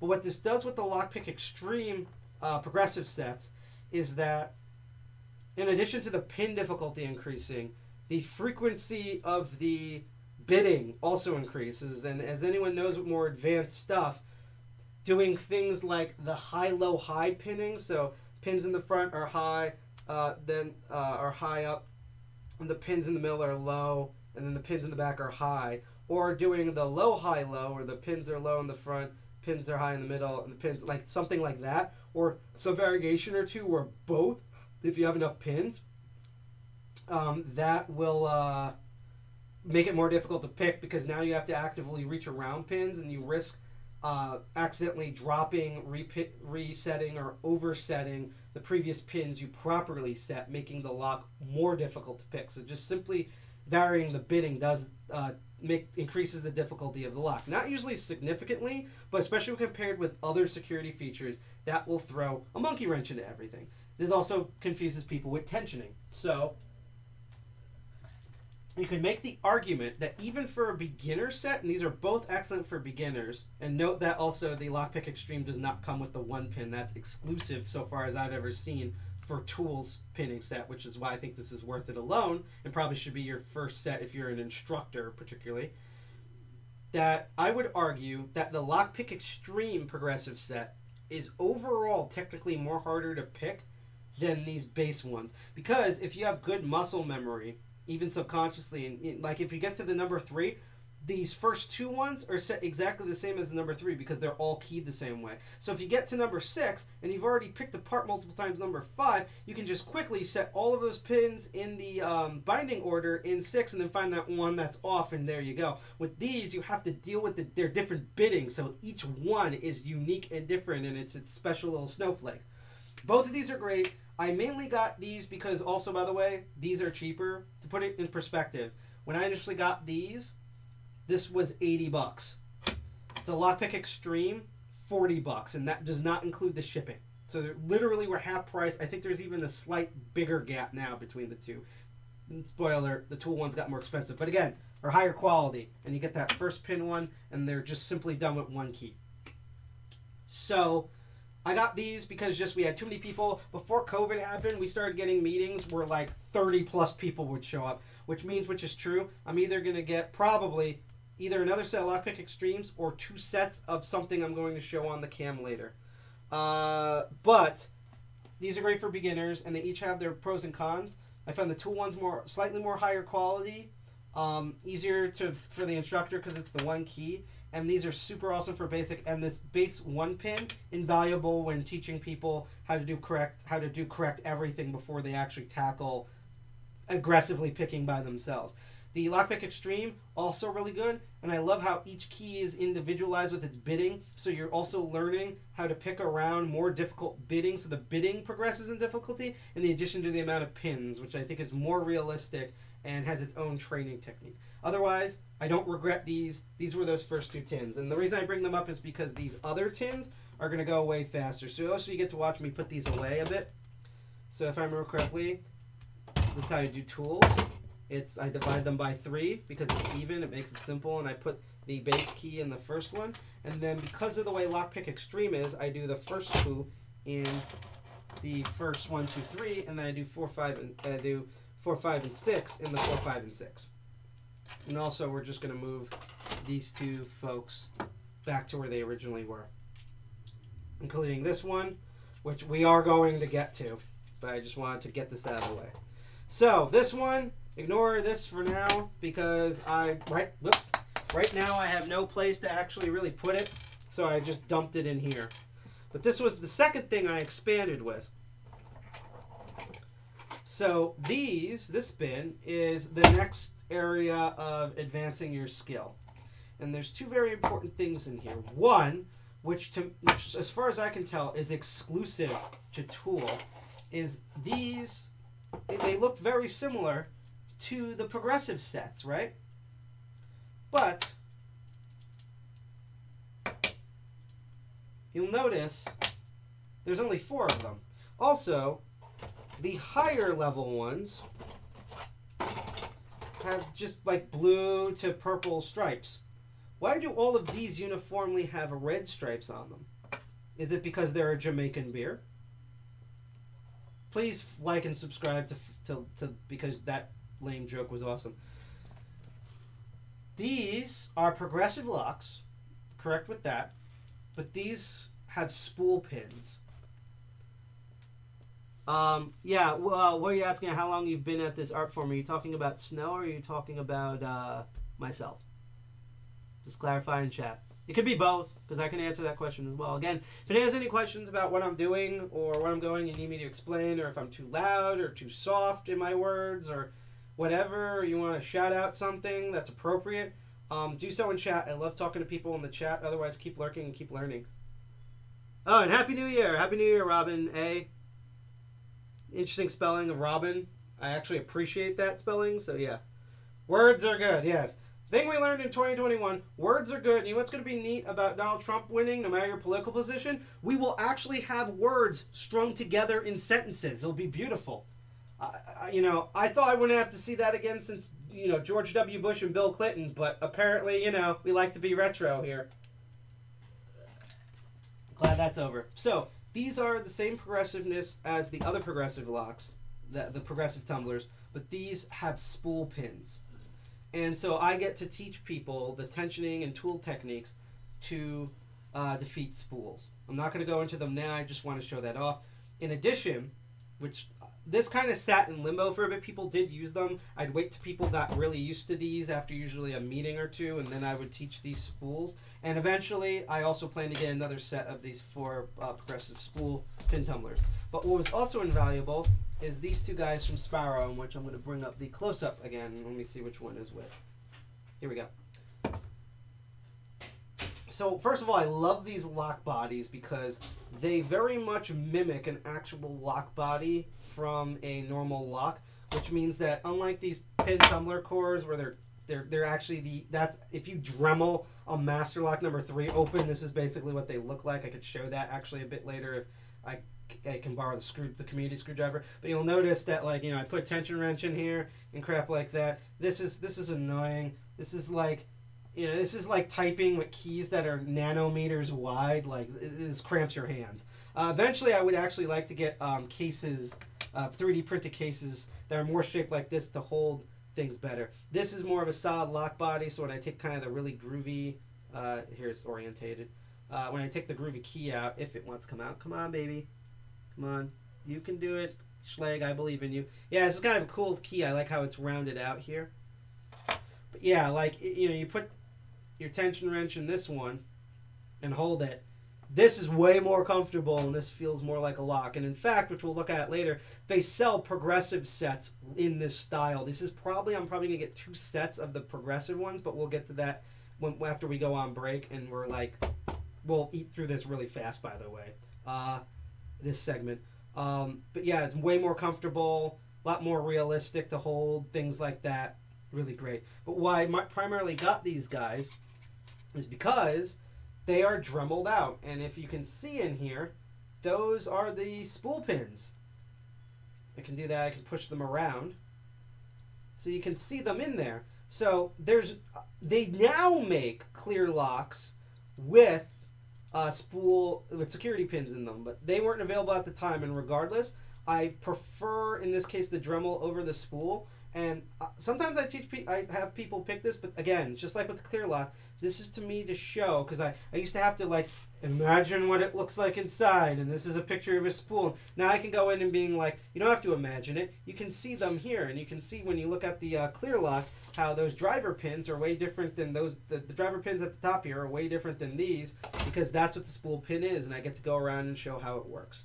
Funny you bring up the reload kit because we're going to get to that moment. And even though sadly there's no progressive sets for this which means i have to make one I also got the same one dremeled out. Come on. Come on, Schlage, you can do this. Schlage. Got the same one with serrated pins in them. So I can show people how those work as well, just like the clear lock. So again, you're noticing the pattern here. We when we went from basic pin tumbler, no security, had clear lock that showed the innards, and just overall how locks work and then we had a progressive set. When we got to higher security with these spools, got the spool progressive set, and I also got a spool and a bonus um, serrated that are dremeled out so you can see what's going on. It's the same teaching technique. I show what it looks like inside. I move it around. I let them touch that. I describe the technique. I show the technique. I put them on the first one, the easy one, and then I ramp them up until by near the end, now they got the concept. That is my teaching method. Now, again, I adjust if you know someone's more visually oriented or they just want to try this out on their own after I give them a little briefing or they need to be hands-on with it or, or they're very audio oriented or video oriented but that's the overall technique that I use and you'll see even though I'm still half-assed with some of these very little variancy in this because that's the core technique. Um, Oh, I'm sorry. I apologize if I misgendered you. Uh, thank you, uh, Robin. Uh, thank you uh, again. I, that's why I don't normally say "ladies and gentlemen" on our on, on, on my shows. Uh, for uh, Master of Unlocking, I say key pins and driver pins, and on my other show, Crypto Barons, which I'll explain at the end of the episode, I say was it Genesis blocks and hashes. So that's why I kind of do. I'm just reading chat. And here comes the new Incent reward in 28 seconds. The Incent reward, by the way, if you don't know, uh, is not a scam. Uh, we think this is kind of cool. We started this in one of the past Crypto Barons episodes and just kept it up here. You go to get.incent.com. So as you watch, you'll see these. There'll be a QR code as well as like a typed out code. If you type that code or scan the QR code in the Incent wallet, you get a little bit of the Incent crypto tokens, and then that builds up as you keep watching our stream, and then you can eventually cash it out for actual money or exchange it for another cryptocurrency. So basically, you get free money by watching our show. It's pretty neat. Happy New Year, Delso Del Nona, by the way. So I'm just catching up with chat before I move on because we've just covered most of this row. Uh, let's see, lockpicking, happy. Um, I don't know who you're referring to, but I will say how long I've been this. I've now officially been doing this for four years. So that's another thing I want to point out because even though I don't say I'm a master at this, a lot of people are blown away not only how I speak, but and how I teach this, but what I know of. Uh, even though there's a lot more advanced things and there's things I haven't encountered yet that I'm currently learning and either in process of learning or eventually going to learn. And that's important because I went literally from not knowing the difference between a master lock number three and an eggplant to being able to professionally teach this in less than three years. So, as I always say, if a giant moron like me can figure out how this works and, and succeed at this, everyone else is better than me. You can too. Just putting that out there. Um, we are not going to focus on this one yet. This is naughty. I will put this over here for now. Yep, four years from now. Also to note, uh, Robin, uh, like I said, if you like this, what you see here, you can like, share, subscribe on Twitch, DLive, and yes, enthusiasm. I use that to make up for other things. Uh, but uh, just kidding, maybe. Uh, but no, um, you can follow us on, on uh, Twitch, DLive, YouTube, or Facebook, which is what we're currently broadcasting from. If you also send us, I believe it's bits on Twitch, super chats on YouTube, or lemons, we also get notifications for those. And we actually do use the lemons on this show. Uh, we don't cash them out. We do a cool thing with crypto barons, and sometimes our main meets. It's really fun. I'm just gonna read the chat. I went from nothing to opening ASSA Twins in 2.5 months. Uh, dedication, and you can learn things pretty fast. Um, not just dedication, but I know people who were taught this before and were either taught by, and I'm going to be blunt, either incompetent instructors. Um, and it's not because they didn't know how to pick locks, the instructor. It's just big difference again between knowing how to pick locks good and teaching people how to do this. Very different stuff. There's almost zero overlap between them, like for real. There's like two separate categories. You have to master both in order to kind of do this maybe more in my case the education part more than the picking part although i'm getting there um, but they either were taught by bad instructors who didn't know how to instruct well or were taught in a way where in their field yes this would work but in terms of this especially in beginners no and we can get into that in a moment but i really want to eat through this i'll actually circle around to that later and then i teach them and they get it. So I know people who've been doing this for months, but just because either they're stuck on something and they can't find the answer for it, usually something really basic that I'm like, why is there no post on this? Uh, or they couldn't just find the information because they're using Bing and the search engine sucks. There's no video on it, or just bad instructing or whatever. And then I teach them how to do it or point them in the right direction because what's really important with locks, you, know, I will put this way again love lockpicking lawyer, but there's a thing that happens within lock sport where people think, and this is a trap that you can fall into, that it's just, oh, it's knowing literally, and maybe this works with bypasses, let's put it that way. Works with bypass techniques. And even then, there's still a technique. That's the key. Lock sport, there's tools that you use, but there's a technique. So it's not just enough, you know, it's like what they say about the blues or jazz or metal music or whatever. It's not enough, or rap. It's not enough that you know what lyrics or what notes to play. You need to know why they need to be played. So you you can't just have a tension wrench and a pick and go nuts most of the time. You need to know why these tools are designed this way, how they work, why they're made this way, how to not how to use them correctly, how to not use them correctly, how to experiment, etc. So it's kind of like any other thing having good tools is important. I'm not going to say that. But even more important, because there'll be a point where you have good tools. You can go out and just buy the best Peterson thing in the on the planet. You will get stuck. And one, that's normal. But two, it's because now you've reached a point where the tools don't matter as much, and it's all technique, or as um, or mostly technique or as uh, they said in Fear and Loathing Las Vegas, we keep circling back to this story about the Kentucky Derby. Now it is no longer a race, now it's an endurance contest.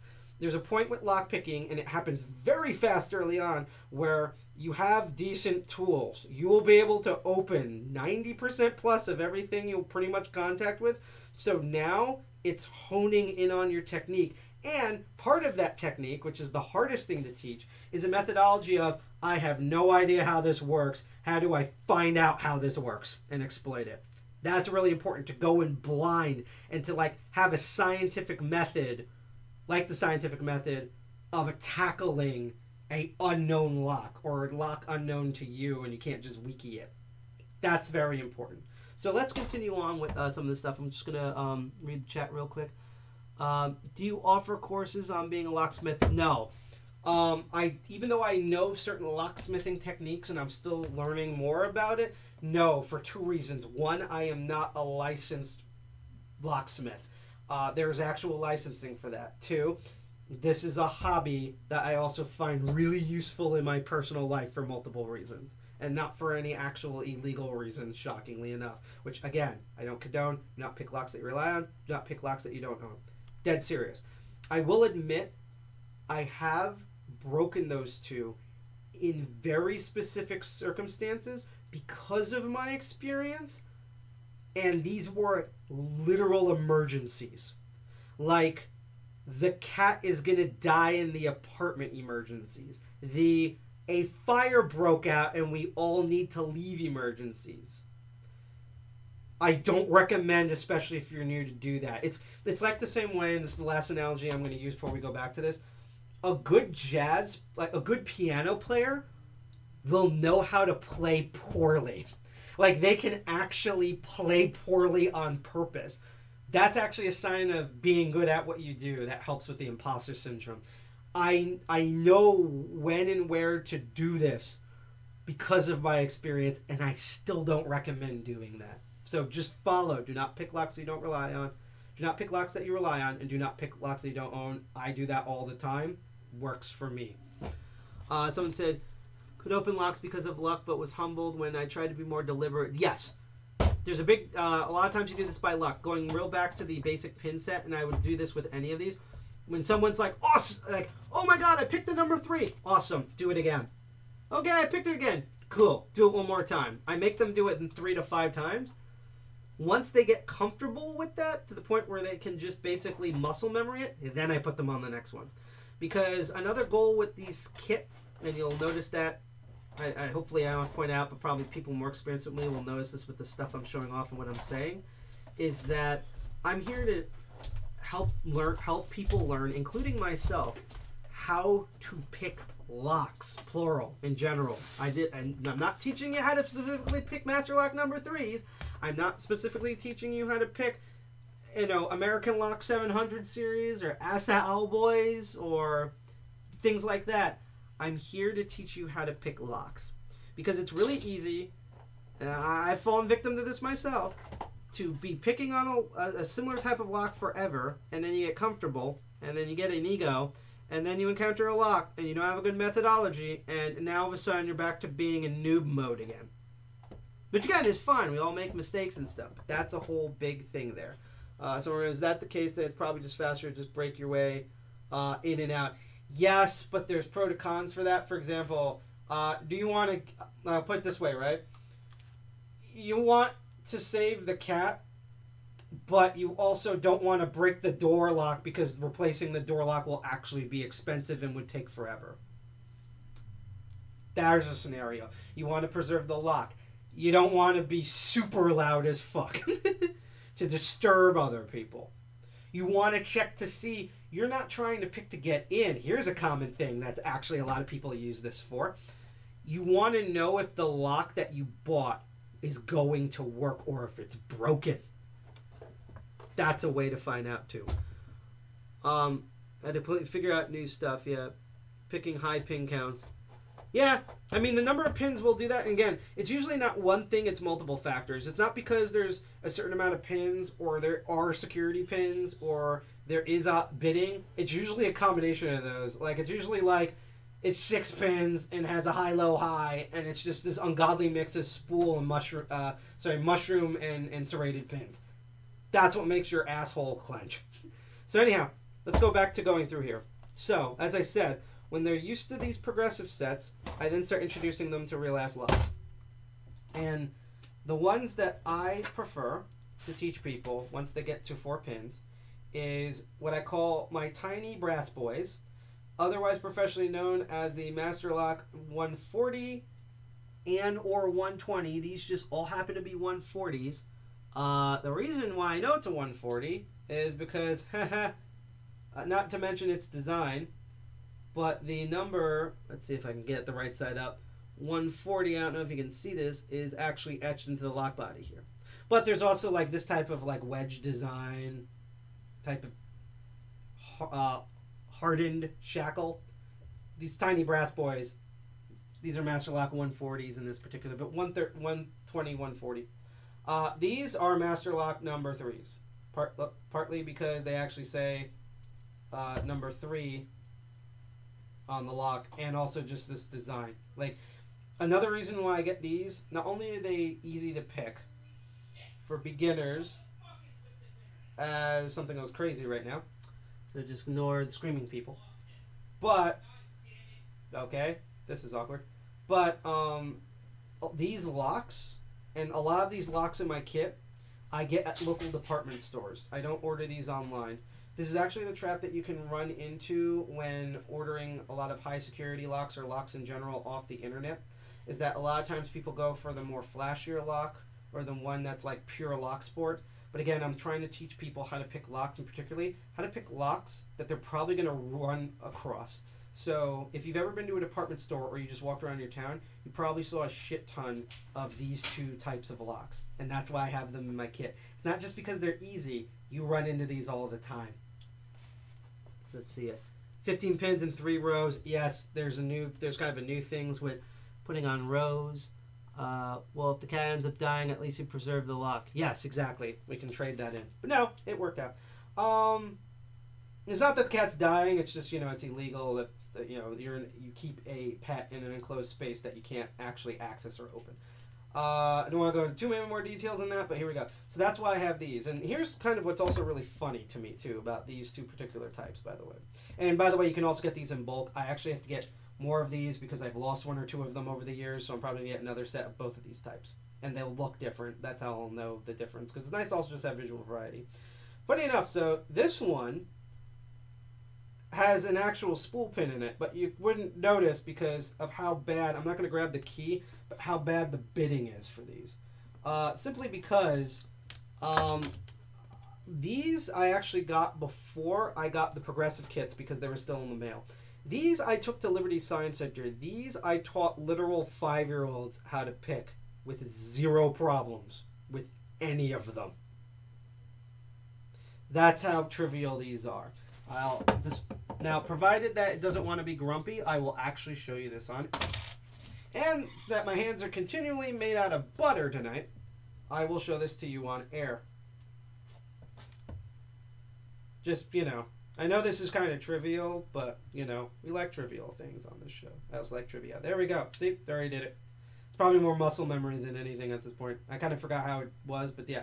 Uh, the key to these two types of master locks is that they both have four pins, and I also teach people the technique on which I could show if you folks want to know. Let me know in chat how you find out how many pins there are in a lock because there's a specific, really fast, easy, cool way to do so without having to look up what the lock is. Um, again, methodology you can use that on pretty much any lock. Um, but yeah, the key to these is that they have four pins, just like the four pin progressive one, and their bitting is incredibly flat. They are so flat that basically, for the most part, when you tension the core, two of the pins are already in place to open the lock. You just usually have to move two pins. If you get a really defective one, it's only one pin to open the whole thing. And that's what makes these easy. And these are actual real world locks they use.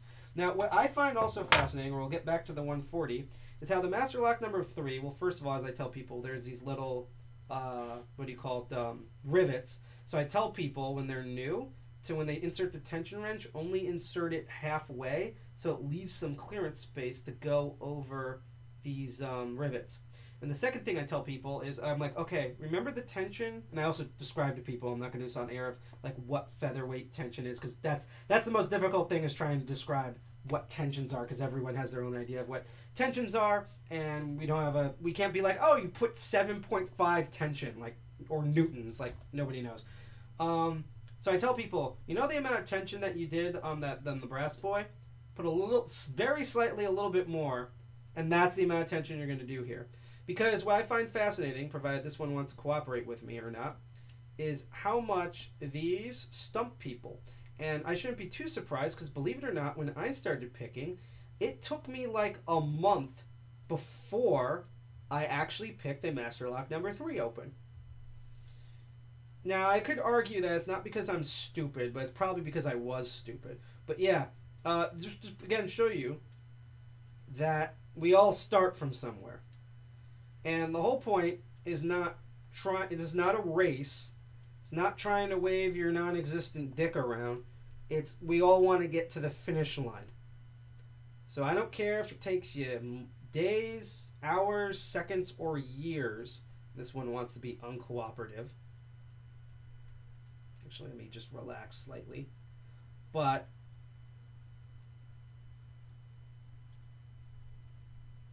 I actually feel it's a little gummy. I'm going to try a different one here. I also could just be having a bad day because, again, everything's slipping out of my hands. Um, but, uh, you know, my whole thing is to get everyone, like, decent to good so that they can start the same journey that I started four years ago. I also might try a different tensioner later. There we go.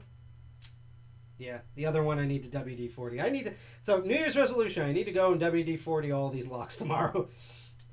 now, one last thing before we move on with this. So it's a light tension as the tension takes hold. Yes, uh, there's actually multiple descriptions I use for that. One, uh, if I have to verbally describe it, it's you take a piece of paper and you put your finger on it and how much it is the bare minimum to hold that piece of paper to that wall that's tension um, for people who are visual it's when you put the tension in and you push down on it the core should slightly rotate when, when you put it, when it rotates and it's rotating when you push down and it stops stop too that's the amount of tension you use and then when i'm in person a lot of times when i'm like featherweight tension or medium tension i'm like if i have permission to touch you it's that again people learn in different ways. And of course, I've had to use the, the piece of paper description because I'm teaching you through the internet. And that's actually where I've had to learn, like, you know, how do I place these cameras? I originally only had this camera, which was terrible for up close stuff, which is why I have my phone camera as the close up camera now, with two cameras basically. The lighting, which I'm still working on, things like that. Again, I'm learning with everyone else. I'm basically learning new teaching techniques. But here's the other crazy thing. So you remember before, and I'll give you a refresher how long it took for this Master Lock 140 to just open. I'm going to give you a fun piece of trivia if you don't know about this because this is the thing that keeps me, LockPickingLawyer, and Deviant Ollam specifically up at night. See, I don't know if you timed it. You see how fast that was? When you go, and I'm not going to go into too much detail, and I'm not going to give my background on this, not because it's bad, but I just want to just do that because otherwise we'd be here forever. When you go either in person to firearm stores or especially online and you look at the top locks for guns whether you're preventing you're locking the loop to prevent the bolt from actuating or to actually put this on the box that the gun's in this is the not only the most common lock people use to secure their firearms this is also the one that gun manufacturers, lock manufacturers, gun stores, and politics recommend to secure your guns from being stolen and used against you. This thing. This thing. The thing that I've taught five year olds to open. The thing that it probably is not going to do this now, and I'm in the wrong hand position. This bastard. So just keep that in mind. Again, really common lock. So those are some of the real world locks. Now I'm taking some other things out in preparation because we're about to get to those in a moment. And this one I'm going to do super later. I'm going to put these two back in their casing. Yeah, in this order. We're going to get the picks in a moment. Uh, I just want to, yeah, just check and chat. So, uh, now we're going to get into variances of pin and tumblers themselves. The first one that I got was this. Now, this is kind of fascinating because this has four pins in it. It has low bitting. So you're just thinking, oh, it's just basically one of these. And you can I've been able to open these in like less than five seconds. This should be very similar. This thing took me forever. I actually had to go to my mentor. And by the way, the one of the people, one of my main mentor that I go for advice on, is my extremely longtime good friend. It's not a bragging thing. I just think he's so underappreciated, honestly, in the lock world. Night Owl, who operates in New York City, which is what we're near because we're in New Jersey, and particularly Jersey City in Hudson County, and uh, and I've been friends of him way longer before I even got involved in the lockpicking or TOOOL. What's the good one of these? Here we go. And he was basically telling me I had the right techniques, I had the wrong tools. Now I'm not going to fully do this on camera. Basically, one pry bar, and even without pry bar, top of the keyway tension on this guy. One because basically the problem is the lock core here is super tiny. So my 25 thousandths of an inch and my 25 thousandths of an inch um, tension wrench, I can actually put that in here. So just take the normal tension wrench, stick that guy in here. There's two problems with this tension wrench. I'm listing one. And then with this, I have no room to, I barely have any room to maneuver. The other problem with this, as opposed to a pry bar, making sure we're still connecting the internet, okay, is that I'm going to try to find the key because it should still be in here. Because there's something kind of ridiculous about this goddamn key. And that is, yep, is that listen to me turning the lock open and pay attention to this um, shackle. You hear that? I'm going to put this next to the microphone. It sounds like a prison shackle, doesn't it? This thing needs a lot of tension once it's picked open to then pry open. And a lot of times these bo- normal bottom of the keyway tensioners don't cut it. So what eventually end up working for me, which is why I have these on my personal kit, and eventually I'm going to get a bunch for the training kit itself, is I have the pry bar that's on top of the keyway, so that way I have a lot of room. And then what I eventually got, which is again upping security here, and you'll need this for more high security stuff, is a 15 thousandths of an inch pick so I can actually go in and have enough space to move these pins out of the way. And this is also how I learned top of the keyway, sorry, uh, top of the keyway tensioning while you're, you know, while you're picking because it's its own thing, especially with that first pin in the front. And then I had enough strength in here to pry this thing open because I have to pry a lot of tension in order to open it. So that to me was the next thing up. So this is a good example of four pins, no security pins, but because of the nature of the lock and how it's designed, we'll get to this guy later. Um, that that was the next thing I put in there. So before I get to the actual next thing, I want to show you the thing that came after that. Now we're gonna get into we've covered a lot of pin tumbler stuff. Now we're gonna get into and we're over halfway done variants, and eventually these variants will be moved out of this case and be put in the new case as its own little tray for that variant. But for now, because I only have this one and I don't have the other pieces yet, those will be coming in the next two months, and that will justify the new cheaper case that will go in addition to this case. I have them in these two bins. And the first one is this lock, which, you know, it looks very similar. This is uh, actual, it's, I remember correctly, an RV coupler that some people also use to secure fences for some reason. These look kind of similar to each other. It seems like same brass body and everything. But when you look at the keyholes, you'll notice that one looks like a normal pin tumbler keyhole. What the hell is this? This is just a slot with two grooves. Like, you know, not to dis not to list the poor gal, but like, you know, what what's going on here? And if you look in here, as I tell people when you look for a key pin, if I angle it up like this, you can see a little piece of metal in there. It looks like a bullet reflecting light. That's the key pin. This, you can't see anything in here. It's like, what the hell? It's just straight slop back. I mean, some guys are into that, and some women are too, but like, what's, what's going on there? That's because this is a wafer lock. And that's particularly why I bought it, is because now I can teach people wafer locks. And it's pretty simple. as I tell people, you use the same tensioner, and technically, technically, technically, technically, you can also use a hook or even better, a half diamond. But every time I, I have a lockpick kit, including my own personal one, the thing that people ask me. Let's go to the other camera. Is what the hell are these tools? Like what? What is this? This is alien. Like what is this for? Like picking Italian locks? What's going on here? Right?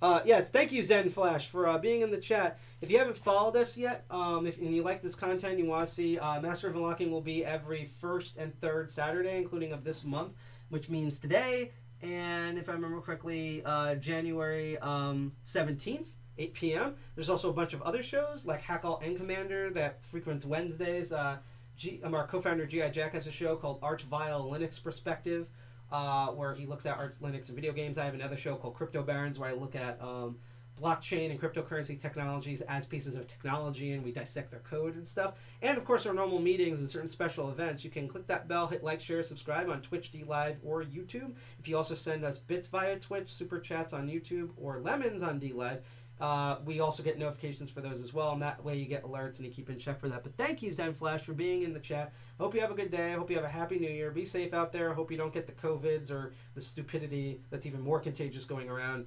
And uh, hope to see you on the show again. And tell me how your experience goes. And again, also by the way, not doing it on this show. You might see pieces of it. If you want to know where to get good or certain equipment, I have a whole spiel for that. I can always go through that in an episode. Just let me get through the rest of this stuff first. So later on, anyone has any questions like, "Hi, I want to start out with some picks," and you know, I've already pointed you to different like locks and stuff, but you want lock picks or whatever. Got you, fam. I can do that. But yeah, so people keep wondering, what the hell are these? Weird things. What's called the snowman, the half ball, and sometimes there's the full ball because we love balls on this show. And they're designed for raking and picking uh, wafer locks. And once, to me, you get this guy, and let me just use the other, uh, just because it's more comfortable for me, this smaller tension wrench. Once you get, to me, these two things, I tell people, even though it's wafers, and these wafers are going to be one-sided, hence why you don't need the uh, snowman, because that covers two sides. We're going to get to there with the expansion on that later. Um, and again, great introduction. That's why I have this log. Eventually, I'd like to get one that's dremeled so you can see, but whatever. Um, it's it's the same as these master locks. There's four wafers. Two of them are already set. You just need to move two wafers in the back. And the thing about this is that this has a two shackle click. Okay, I got one wafer in. Whereas the LockPickingLawyer would say I got click on one. Let me just reset real quick. Try that again because I'm kind of stupid right now.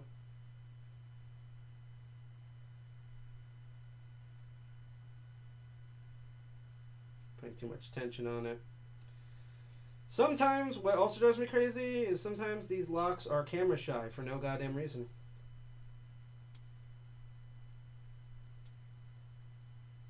And also probably over tensioning thing const- everything constantly.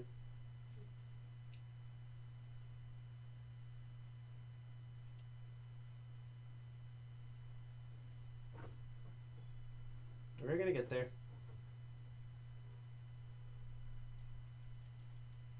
Try a little bit of raking there. Actually, let me just rake this guy open just for the interest of time. There we go. I can also single wafer pick it, as it's called, or I guess that's SWP for single wafer picking as opposed to SPP, which is not SPC. There's a completely different thing on the internet. It's a single uh, pin picking, and I guess SWP is single wafer picking. But yeah, I have this specifically to teach about what wafer locks are, how to visually identify them, and what are the better tools that you would need in order to get these guys open. Because you can use the standard tools, but I personally find the uh, the half balls and snowmen and stuff better. Uh, then we get into this crazy variant where once again, these two locks. Let's see if I grab the right ones here. I've seen these on some past episodes. This entire bin is just this type. These look very similar. They have the word master lock on them. It's the same sort of plate design. They have rivets on them. They have the shackle. But once again, that one looks like a normal lock. What the hell is this zigzag piece of crap? What the hell is that? Let's put on the uh, close-up cam here. What what's what's going on here? What what is this twirly guy thing? Why don't I see any pins? Why don't I even see wafers? Like what the hell is this? That's because these, and they all have these black bands at the bottom, are um, warded locks, which is one of, if not the oldest lock designs in existence. So this entire bin has not only these locks, but, and I have to grab the right one here, the keys, and I don't have one that's Dremel, this is the wrong key, um, but I do explain, I do have a, video, a YouTube video I show people of what it looks like on the inside and how it works. And the reason why, I mean, we still use these for like storage units and stuff because pin and tumbler locks not only wear down quicker, but they're also susceptible to weather. There's ways to harden them against weather, but they're more susceptible to that. Uh, these will almost last forever, almost. Uh, so a lot of people ask, well, uh, if these you can't pick this lock open technically, and these are tougher, why don't we use warded locks anymore? And that's because someone figured out that if you ignore, if you make the shaft thin, thus ignoring the warding, all you need to do is engage the actuator. So a group, someone, or probably a group of people centuries ago, uh, researched the varying tips of these, and this is from Sparrows, but there's many others like it. These just happen to be mine. Came up with a common denominator list of the seven most common actuator heads with thin shafts and these are sometimes erroneously known as warded uh, lock picks. These are technically bypasses because you're bypassing the, all of the warding. So I'm trying to remember which one actually works. And that's what you do. You just go through different ones here. So you put that in, you try to engage the actuator, and you turn, and that didn't work. So let's try the wider head. She might like the wider head better. See? Nope try that small head again. Make sure. Sometimes, you know, size isn't everything. Okay, so it's definitely the wide head. So let's try the, the small two-pronged one. There we go. That was a pop. I'm going to do that again.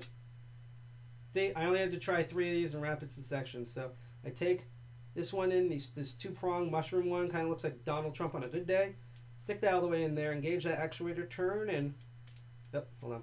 Then engage the actuator. It's hard to do at this angle. That's what she said. Turn. And we got a pop.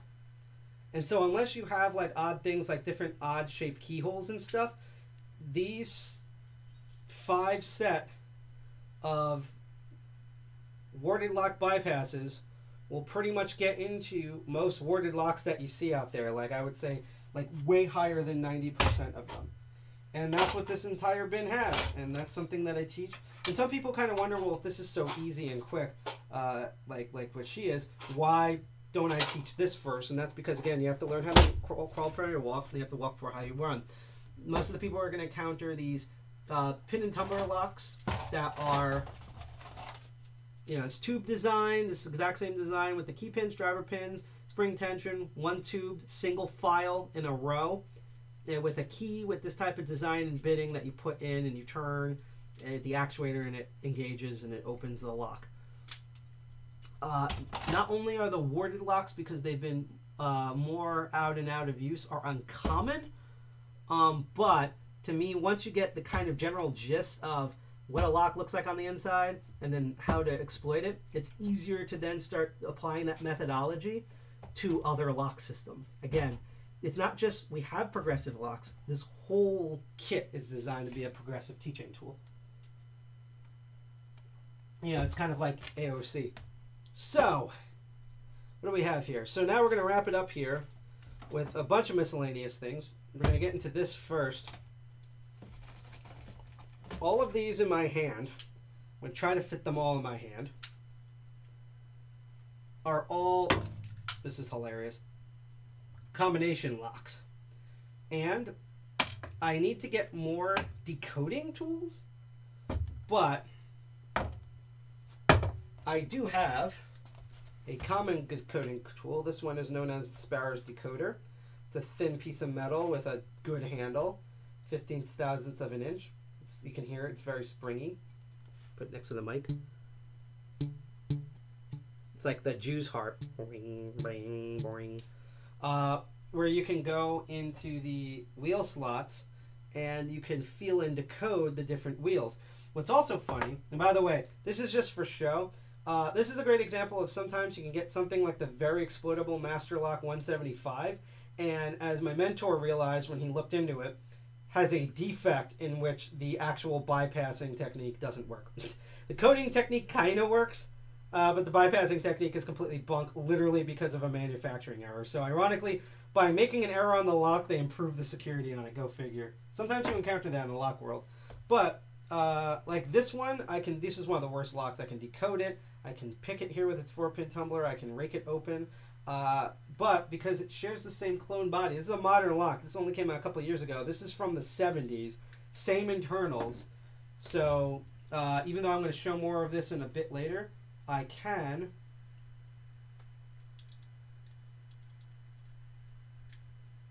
See if I can do this correctly. All right, let me try that again. Oh, that's why. I almost made that mistake. Side are we on here? Whose side are you on? Hold on. There we go. And I can bypass it with the decoder.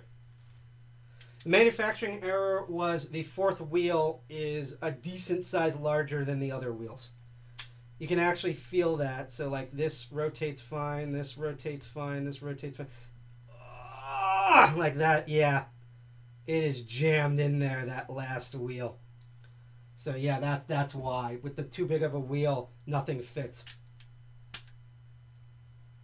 So I have that. And then some of these locks are great because, especially with Master Lock, this one has none of the same manufacturing problems as all the cloned 175s. They literally designed this to replace the 175 series in clones, but has a bunch of new flaws where I'm not going to do it on here. But uh, there's techniques, in this case, pulling on the shackle and feeling the wheels, where same thing with this word decoder one where you pull on the shackle and move the wheels, and you can just decode it without using any tools whatsoever, but literally your bare hands.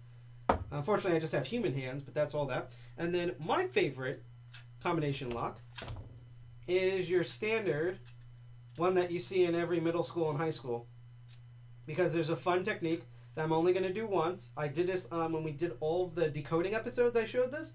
So I'm not going to repeat this, but just so we can get through to go on the break and continue the episode. Uh, I'm just gonna go through it really once. So let's. I have the code on the back of it. Let's pretend we didn't know. So what you do is you set it to zero, right? And then, uh, actually, let me let me just quickly read. I'm blocking the number here. I just try and remember the okay, right, left, right. All right, sorry. Sometimes I forget that. So what we do here is we circle right three times. One, two, three, and I'm gonna do the close-up cam for this.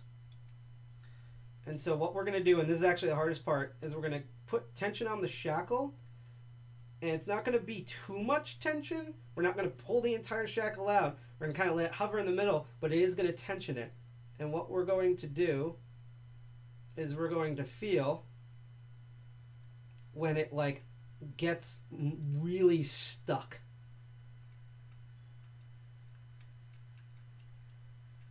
So this is like, it's kind of stuck. You see how loose these feel?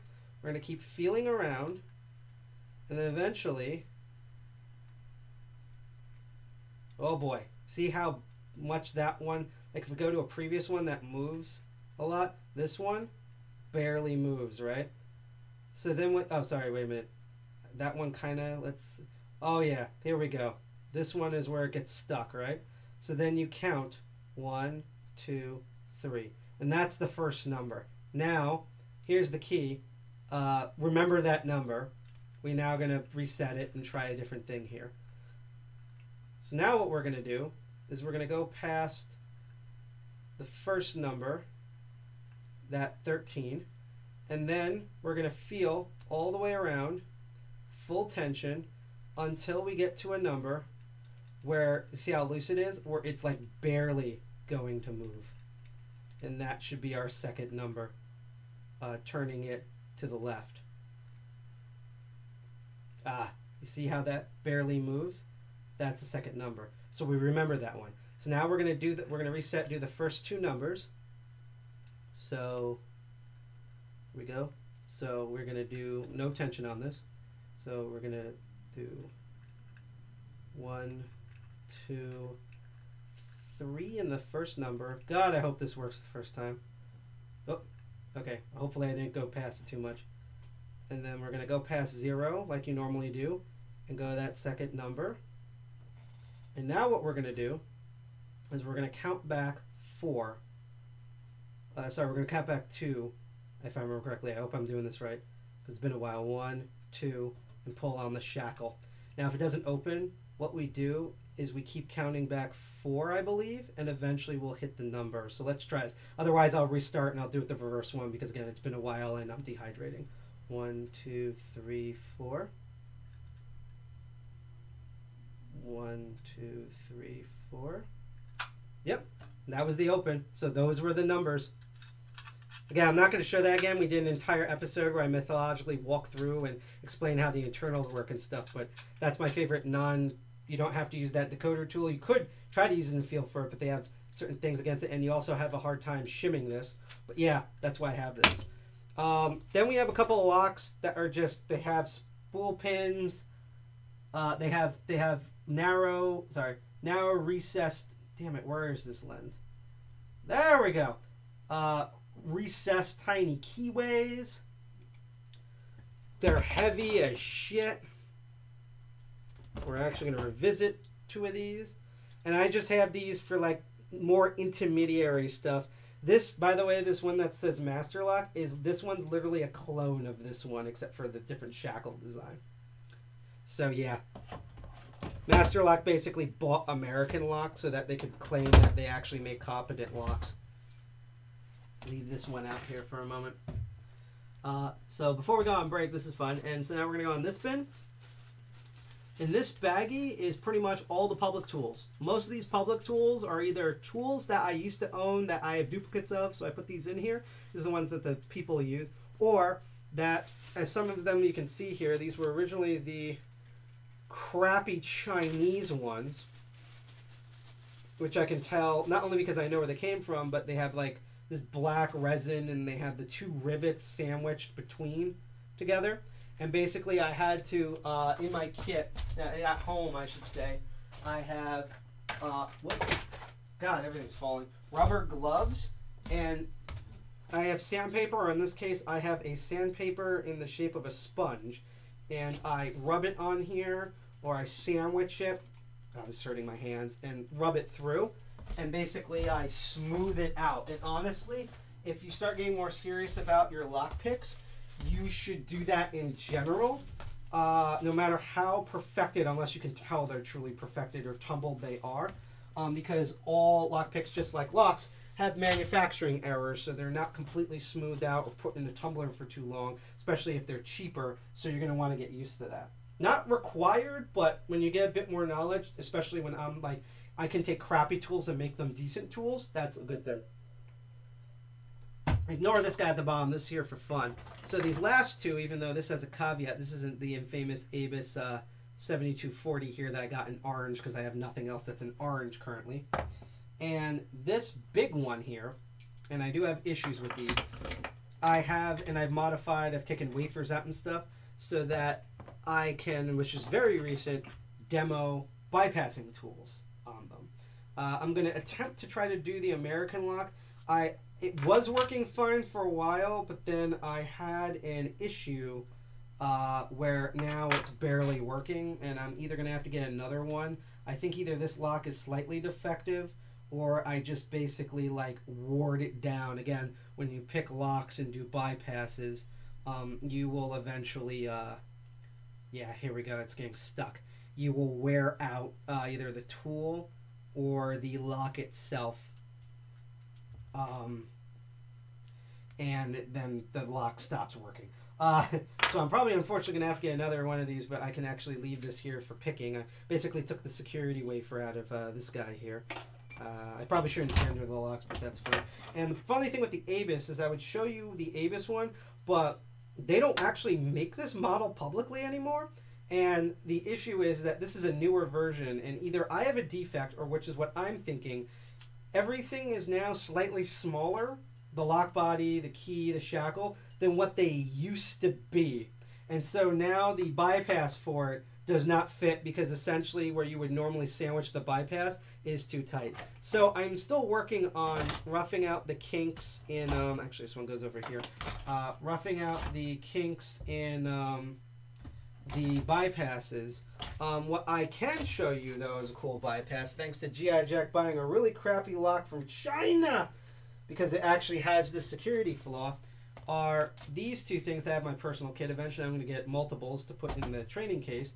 Uh, and this is the master switch system. This is what up until like the early to mid 2000s and before, uh, master locks 1 through 5, and this is a, a clone of the master lock number 3, would run into. So I'm not going to explain because we literally covered that two episodes ago, but I take the Talon one here, push all the pins up, push it in the back, and now it's locked in. I can tell because it's springy, it's not going anywhere. Now, this it might just pop instantly when I do this, but I'm going to take the other cook, put it in upside down, bomb the keyway. I usually find the left side working better, slides its its own slot, and then when I wiggle these two together, yep, come on, here we go, it pops open. And that's how the master system works. Basically, you're engaging the two locking parlor mechanisms that are unshielded at the same time. And thus, if you find an older master lock, if you can set, if it's not ball bearing and you can set that in there, uh, that works.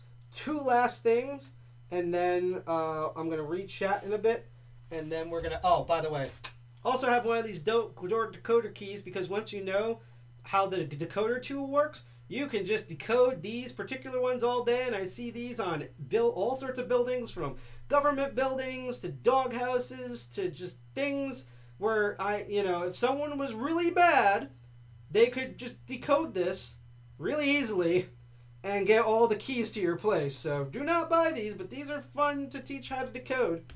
Did an entire episode about that. a couple more things before we move on with the kit. So I'm going to preliminary start putting, oh, things back. Because then we're going to transition to the next part. Uh, I'm going to actually put some of the lockpicking tools away. Again, I'm going to read chat in a moment. If anyone has any questions about uh, what I have been talking about so far, uh, or you want to shout out something or anything like that that's appropriate, because sometimes we get in like terrible spam bots that I have to like blast off of the face of the earth and shit like that. Um, please let me know in chat. I love talking with the chat. Uh, otherwise, as I keep saying, keep lurking and keep learning.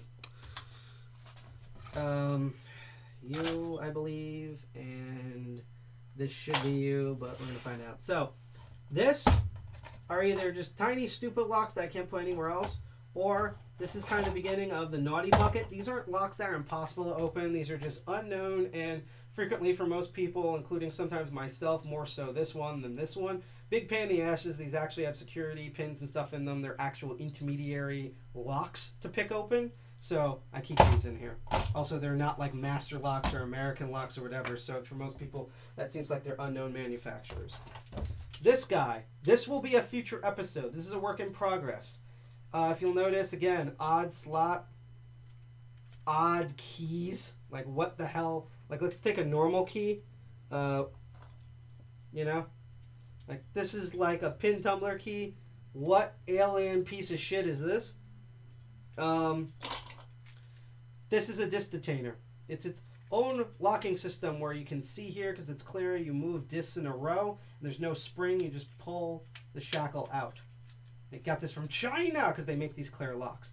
And which did came with this, and one of them I can't show you because it's broken and I need to fix it, is the actual tool that comes with the tensioner that you can pick these open. This is a variant of it. Uh, fun fact I'll get in later. There's actually top and bottom of the keyway tensioning tools and picks for them. And this is a bottom of the keyway tensioner. You tension with this guy and then pick with this. The one that you're probably used to seeing is actually a top the keyway tensioner. And speaking of that, before they went not I think they're more stable selling these now, but I missed these in February, but when they went on sale in August, I got this. Probably see me on Instagram take this apart, and this is the infamous tool that Boz, that LockPickingLawyer and BosnianBill made. No, it's not what's in their pants, believe it or not. This is should be like the light from Pulp Fiction coming out of this. Oh, this is the Sparrow's disc detainer. When eventually we do the episode on disc detainers, I'm gonna have to train myself to say disc detainer because I will guarantee at one point I'll accidentally say dick detainer, and that's a completely different thing here. But yeah, uh, this is normally what you would use. This is the tensioning system, and then this is the pick. It's kind of hard to see again because it's it's a solid black tool because you know sparrows, and you would go in, line things up, and when all the gates are properly lined up, which they're not, but we're gonna do this anyhow. You put this in and you, you tension it, top the keyway, and then you go in through this and you move the different gates. Now I'm going to try to unstick this. Uh, I'm trying to get the old tool to work because actually because of how thin this head is. I can also, which I am going to work in, repla- making a wider head on this. The thinness of this is actually way easier to do this with, um, and this is a great tool by the way. I love this. I reviewed this a while back. Um, this is for primarily high security versions of these. Low security ones, they this the picking head actually gets stuck between the uh, discs on this. So I'm either gonna do what Rook Knight did, shout out to him, and create it. Probably I'm gonna do both a replacement head uh, that's thicker that works on the low security ones, and or I'm just I just need to stop being lazy and use some soldering and repair the old one. So that is the disc detainer. And as far as I know, we have one final, one final thing in this kit to go over before we move on to the next segment, which will probably be the shortest segment. And when you hear me put this on the floor, you can hear how heavy this is. And this is the thing that currently won't fit in the case. So, unfortunately, I'm missing the key for the clear one here.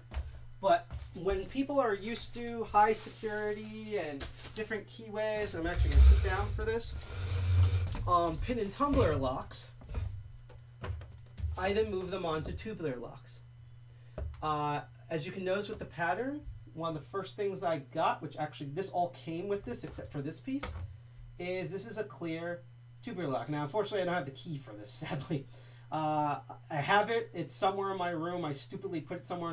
In it, I probably put it on my table and it fell off. So I have to be like Wayne Szalinski from Honey I Shrunk the Kids and suspend myself with a giant uh, magnifying glass face piece and comb my floor for it.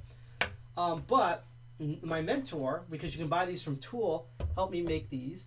And this is a tubular lock that is that is specifically designed with just enough tolerance, but still low tolerance, to be used to pick. So you can learn how to pick this. And of course, which I don't have the tool that would actually properly tension this, but you can actually single pin pick this with normal tools. It's a big pain in the ass. This is why these used to be considered high security. The other thing that's in here is the reason why most of them are not considered high security anymore because I have what are known as, um, I'm going to try this, it might not work the first time, that's what she said, are tubular lock impressioners. In which, if I remember this correctly, and I'm really malnourished now, let's insert this here, and do like a force wiggle motion. It's probably not going to work because I'm not paying attention correctly. Plus, again, I think I need to like lube these. I know this is the one that actually works on this, although I might have a slight variant. Might work better.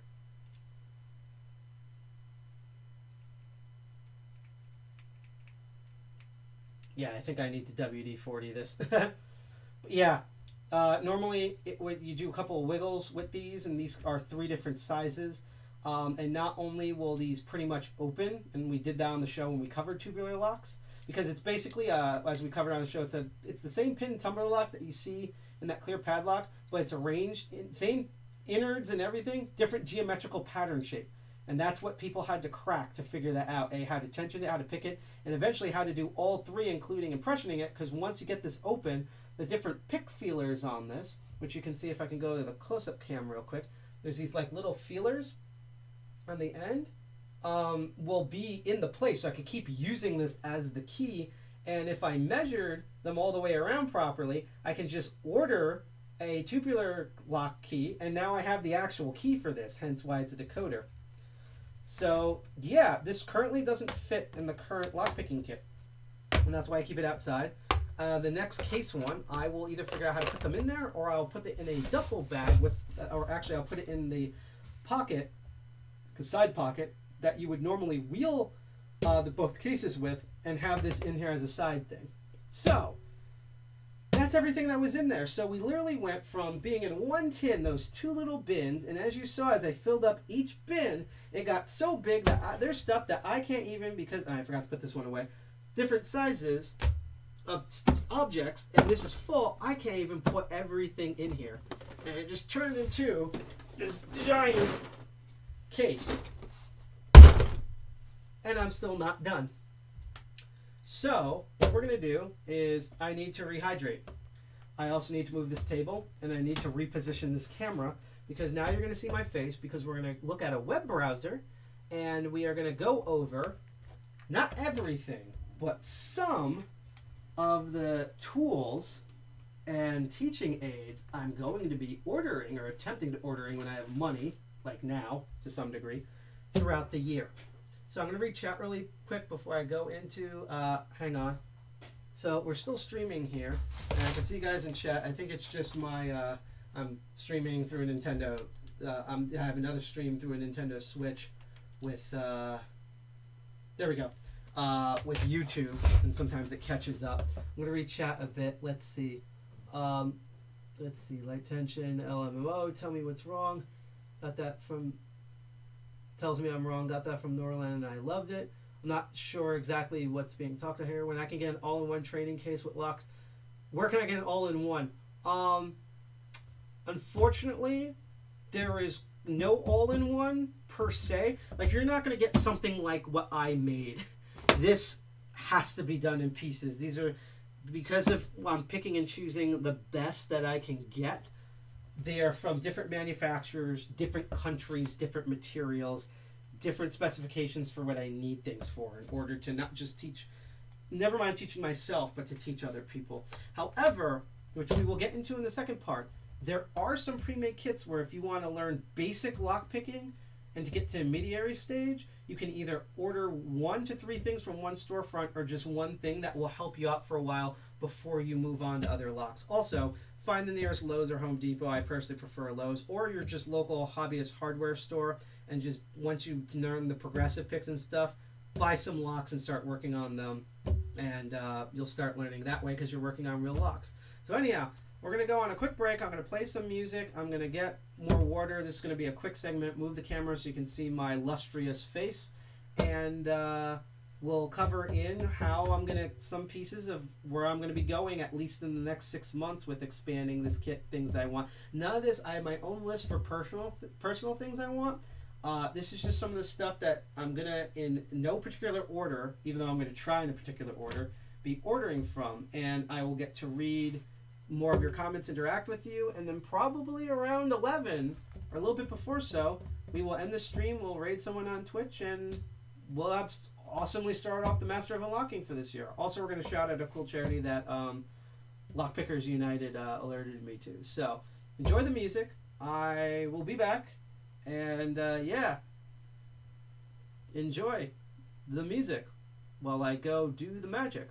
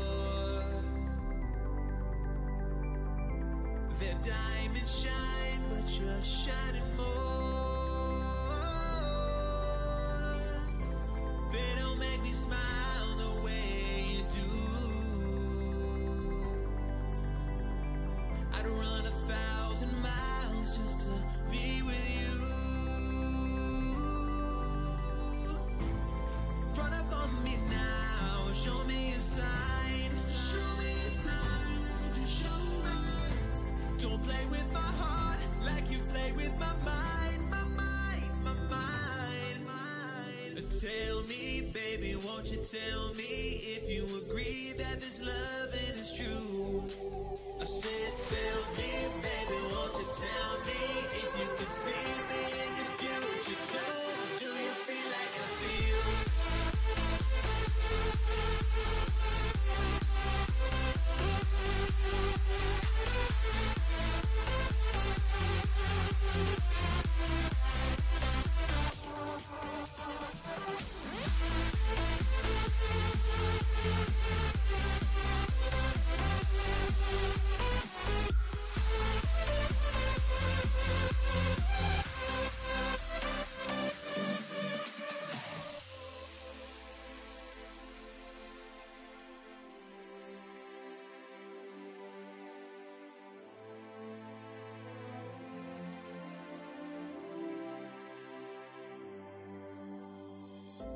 You're not like the girls I knew before.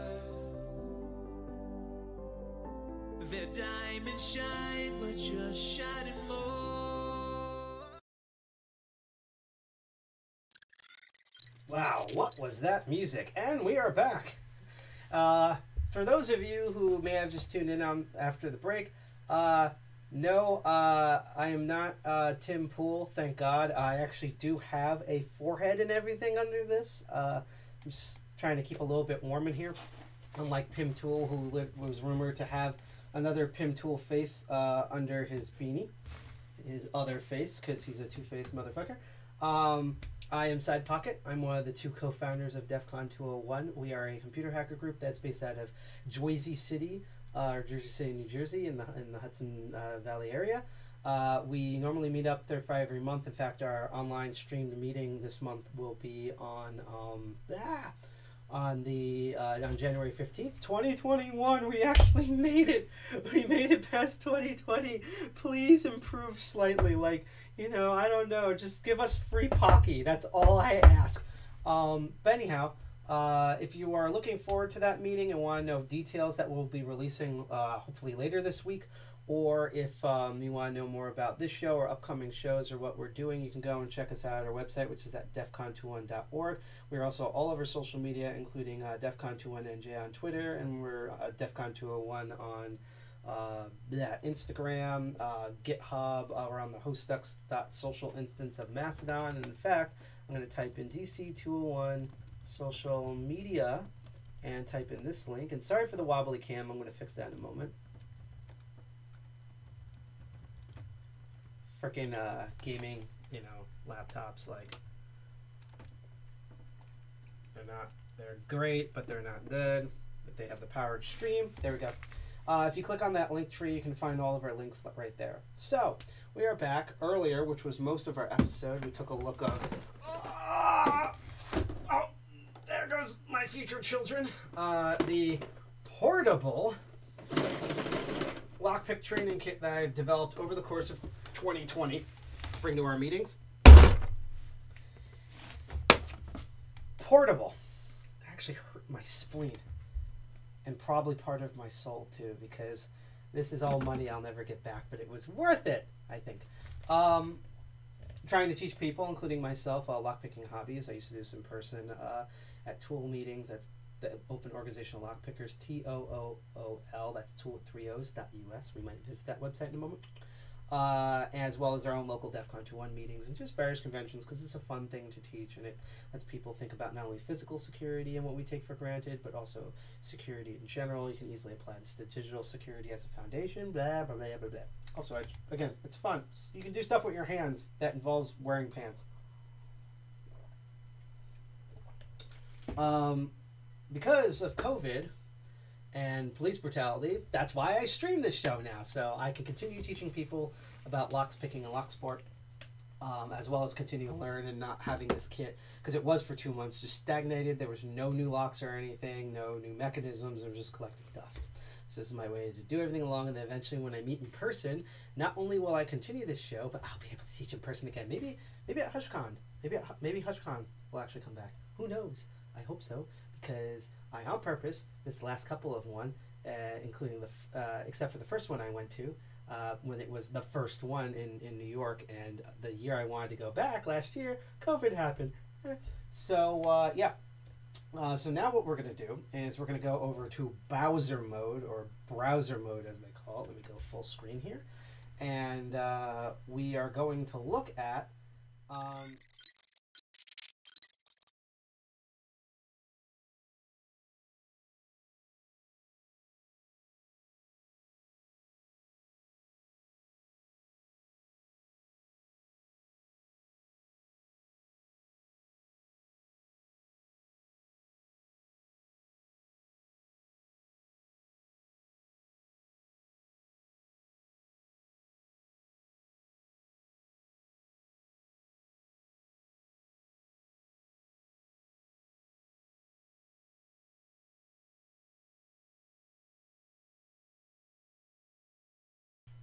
Damn it!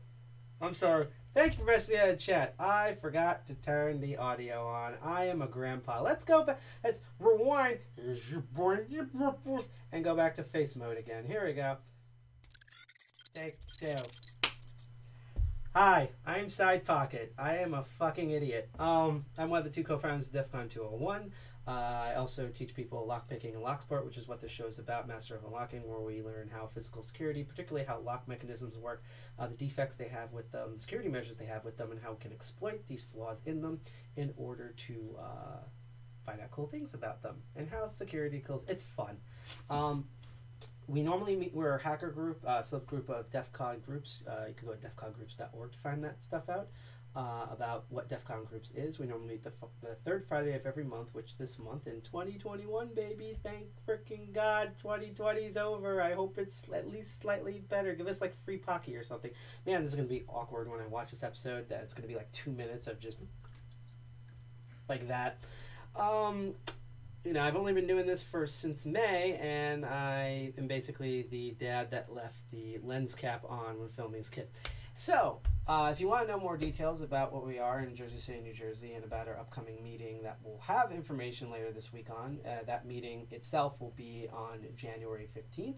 Or you want to know about this show or other upcoming shows such as, such as Hackall and Commander, Archvile Linux Perspective, my other show, Crypto uh, Barons, as well as just various specials and cool hacker things. You can go down and visit our website at defcon201.org. We're also all over social media. Our big main one is Twitter, which has a unique URL due to stupidity at defcon201nj. And we're on defcon201 on everything from um, GitHub to Instagram, on the hostux.social instance of Mastodon, all over the place. We even have a Minds account, even though those people drive our minds crazy.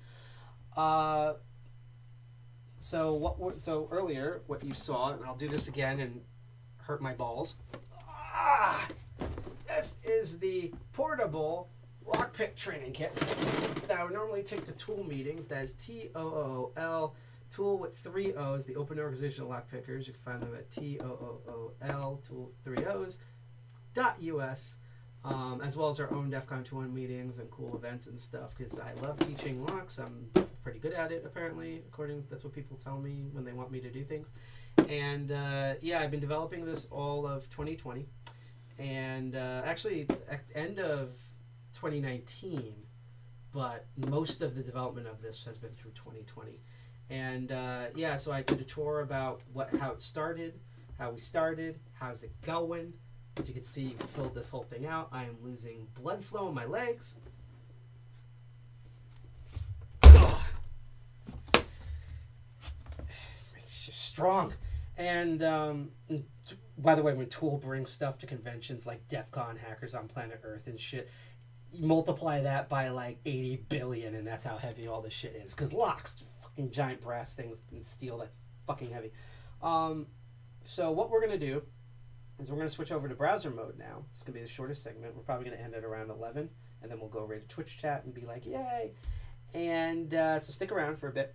We're going to go to look at browser mode, and we're going to go look at some storefronts where we are going to, um, I keep saying where we're going to, uh, sip, sip, not the phone, water.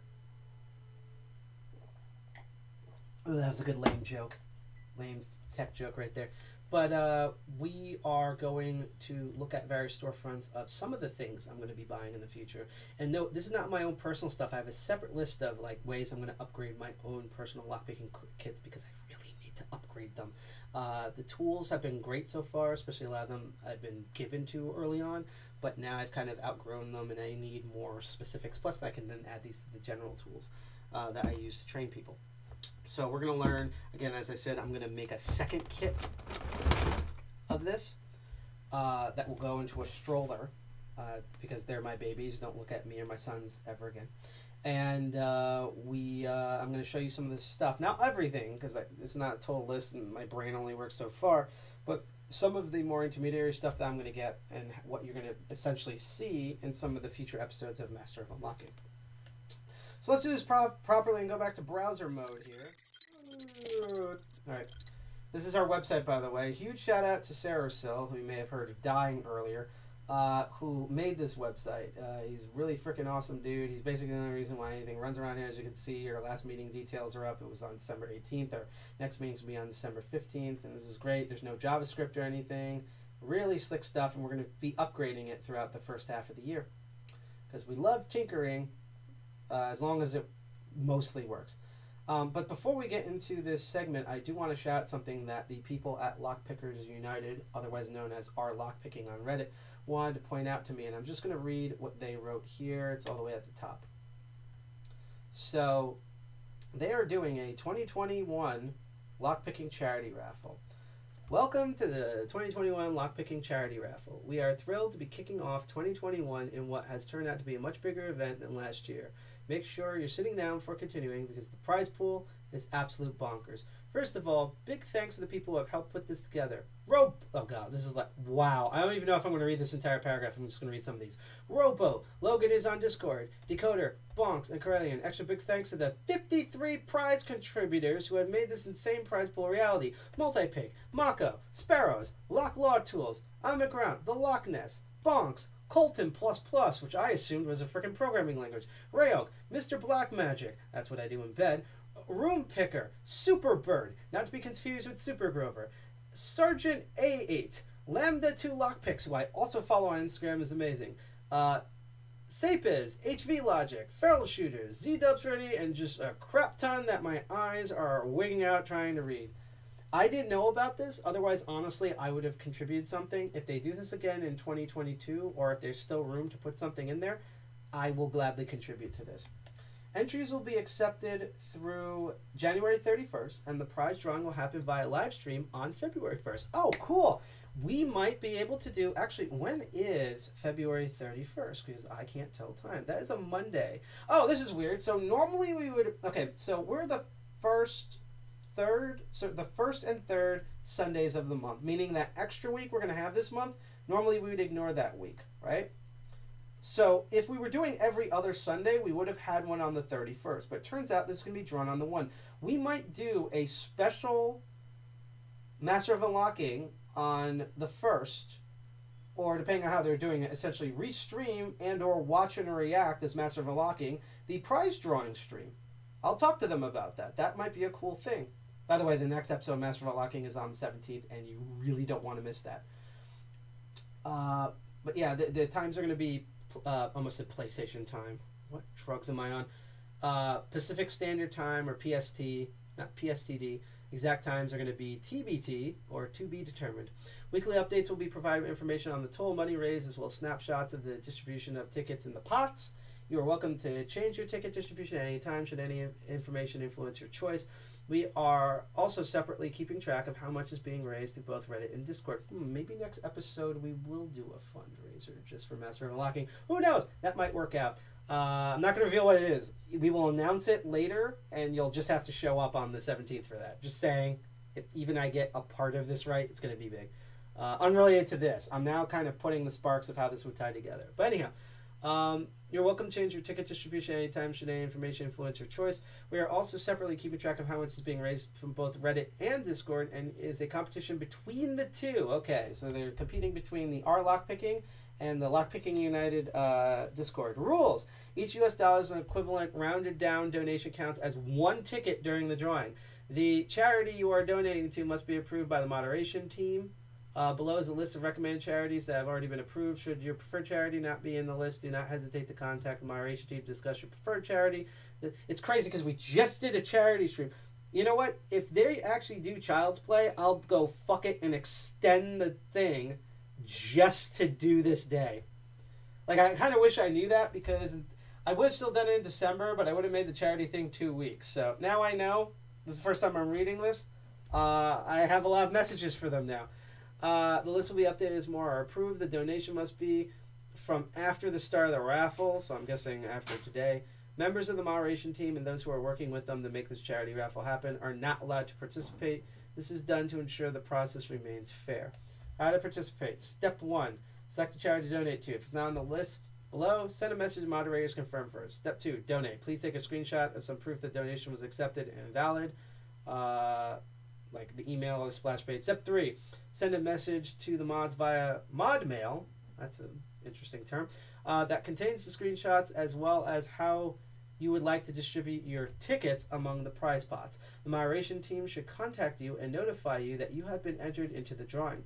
If you want to be extra awesome, you can check if your employer does donation matching. I'm broke, so that's not going to happen. If it doesn't get if it doesn't give extra tickets but means you're extra awesome. That kind of reads as if it doesn't get extra tickets, it puts the lotion on its skin. That was just a weird sentence. And then I'm assuming the next step is five question marks and then profit, and then you win the Triwizard tournament when they enter your name in the cut when you get to fight Voldemort.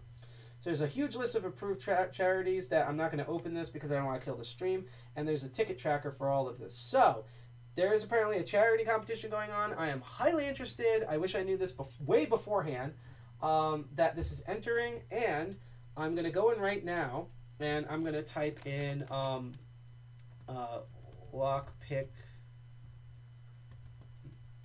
there's United Charity Contest. And I'm going to make a spell check here because I am an illegitimate. What the? Not chair farts. There's a new. There's an next insert reward, by the way. There we go. So, Wired. What did you just do? There we go. So this is the link to the same Reddit thread I was reading, where you can go and participate in this. I am highly interested in participating in this, so we're just shouting that out for everyone out there on Lockpick United, aka our, our lockpickers. We covered you folks on the show when we talked a bit about lockpicking communities in a couple episodes ago. This is awesome. Uh, I can't wait to see how this results, and I really hope that outside of just promoting it, that I can either participate in it, whether trying to raise funds for a charity, uh, even if it's my own money, which I have not that much of, or um, putting together something in the prize pool because I'm I'm not a super I'm not LockPickingLawyer or anything. I didn't I didn't make a tool at Bosnian and Bill, but uh, I could figure out something. So, let's look into some of the th- ways I'm going to expand this whole toolkit set. The first thing I'm going to do is round out a lot of the pin and tumbler stuff. And I actually just realized here I might have a. Let's see, do I actually have a missed. Uh, I might have a. Um, what do you call it? A item here that I put in the wrong order because I am super dumb. Just give me one moment here. Ah, here we go. Okay, everything still works. All right, so we're gonna go to sparrows first, and a bunch of these are gonna be sparrows. But and remember, these are not my own personal things that I want to do for my new uh, everyday carrier EDC. This is for the training kit. So the next one, the next oh, that's the actual page I was looking at. The next thing, I, one of the things I want to put in is the sparrows reload kit. Reload, re re re reload. Shoot outside of the screen.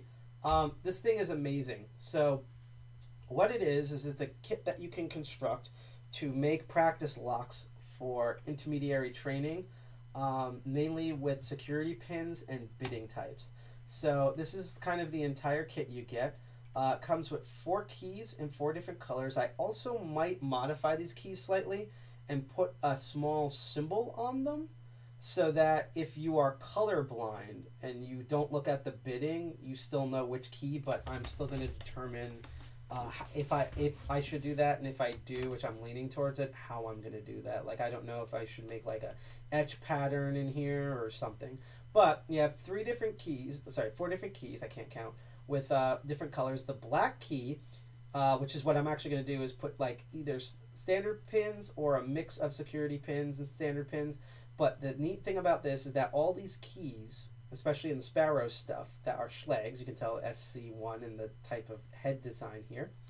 Um, are all five pinners. This is the six pinner key. So even though I have, like for example, the ASSA Abloy that is six pins with security pins, um, this allows me to teach people outside of the uh, progressive kits how to make a more difficult six pin, not just six pin, but they're normal pins. I'll have like a, you know, like I'll have a normal pin, then a, a spool, a serrated, a spool, serrated, and a mushroom, something like that. And then the rest of these I'm going to pin normal pin. You have this blue one which has a ramping. It's, it looks flat, but it's actually a ramping, which means You will accidentally overset and under and drop pins if you single pin pick, but this is really susceptible to raking. So this would be a nice way to like easily teach people how to rake.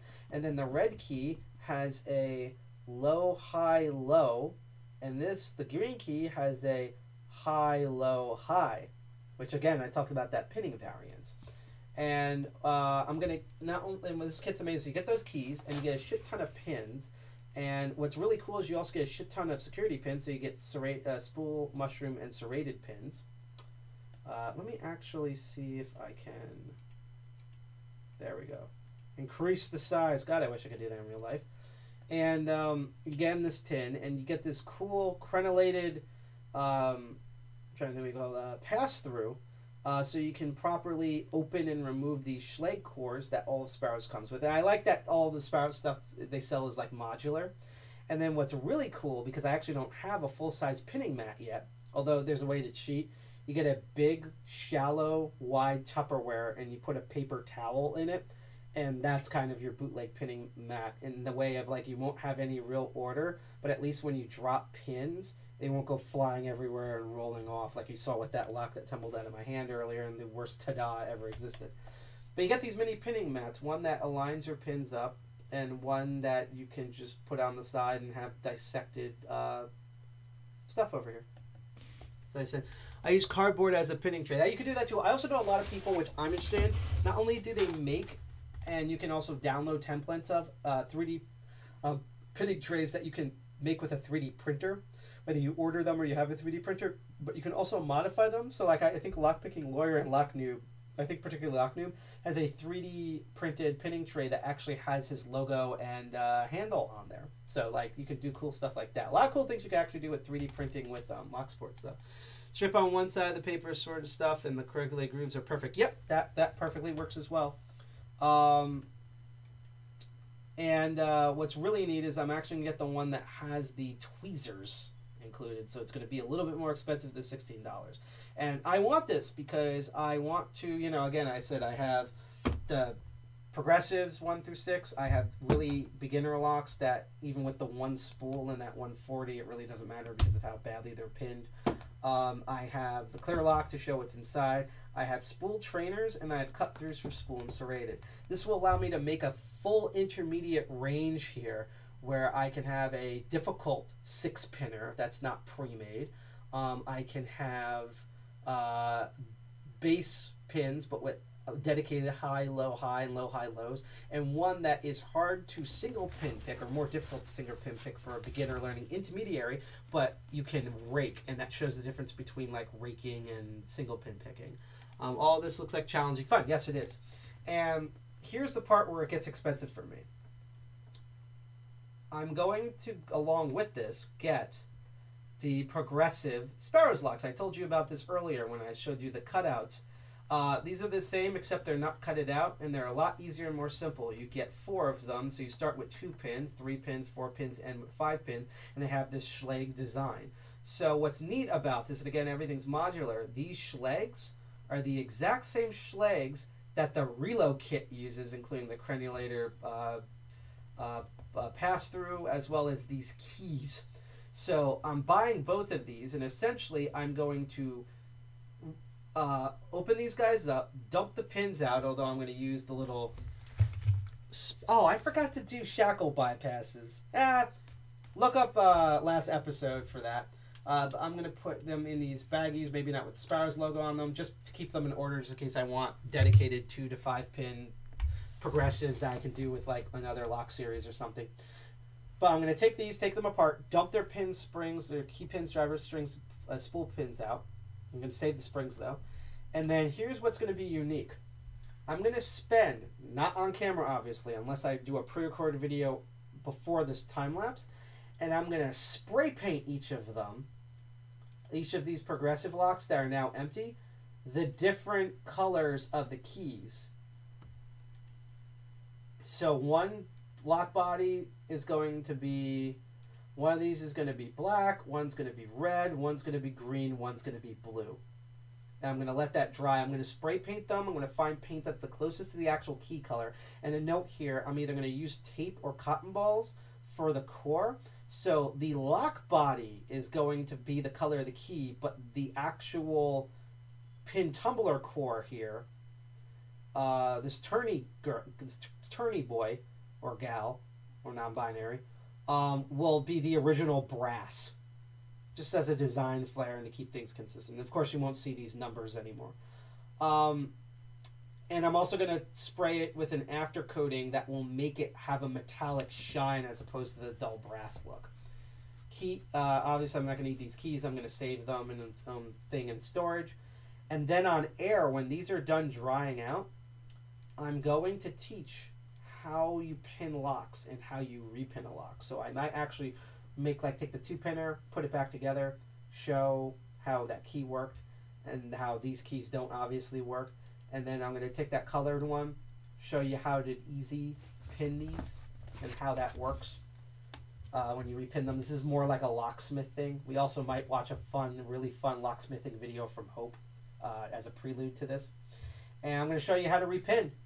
And I'm going to do all four of them. And then when they're done, you'll have these lock bodies with the color one black, one blue, one red, one green pinned up and corresponded to the previously progressive ones that are now those colors. And now I have a full range, easy to use, color coded intermediary lock set. That's phase one. I have a very similar phase two that is shockingly even more expensive than this. This is probably honestly, ironically enough, where except for one or two other items, I'm probably going to spend the most amount of money. And no, I'm not doing this all at once. I'm pacing myself out in chunks so I don't make myself go broke. Because you can ask BosnianBill. That is so easy to do, even on his income. It's so easy to just go broke on this. There's also cheap things. I, I, I always point out when there's deals. Oh, before I get to the second part, someone mentioned this. Yes, I want to get at least two revolvers. Revolvers are really cool because essentially they're good trainers for um, different pin types. So what it is is they call it revolver because it looks like a uh, nothing too crazy. Uh, they look like a revol- revolver and a revolver gun where you chamber the bullets, which I think is a cool design. It has these same type of keys that the progressive uh, these lock bodies have. Right, they're all Schlags. I love saying it like that, Schlags. Um, and I won't tell you the the bitting, and it's all the same bitting by the way, but I won't tell you the order. But basically, I'll tell it this way: each one has different types. So, so normal twelve o'clock position have normal pins. Uh, all I think they're all five pins initially, but I'm going to do them so all six pins, right? Then the next one has normal pins, but two of them are spool pins. And so you'd have to know, like with my progressive kit, how to do spools. That's at the three o'clock position. Then you, when you get to six o'clock, those are all serrated pins. So you'd have to learn. I again, I have the cut through of the lock, and two of these are serrated. And then the final one has two mushrooms, which are kind of like spool pins, but they're kind of a different type. So I don't know if I'm going to demo this on air. And plus, which I like too, you can use an Allen wrench here, which is why I'm thinking of maybe eventually getting three of them, but I'm initially going to get two just for hands-on training, which means I'm probably not going to purchase these until I know that in-person TOOOL and DEF CON meetings in some capacity are happening. And of course, I'm going to disinfect everything. But I could also get like an extra revolver and repin this to be the most difficult fucking thing on the planet and just do insane shit.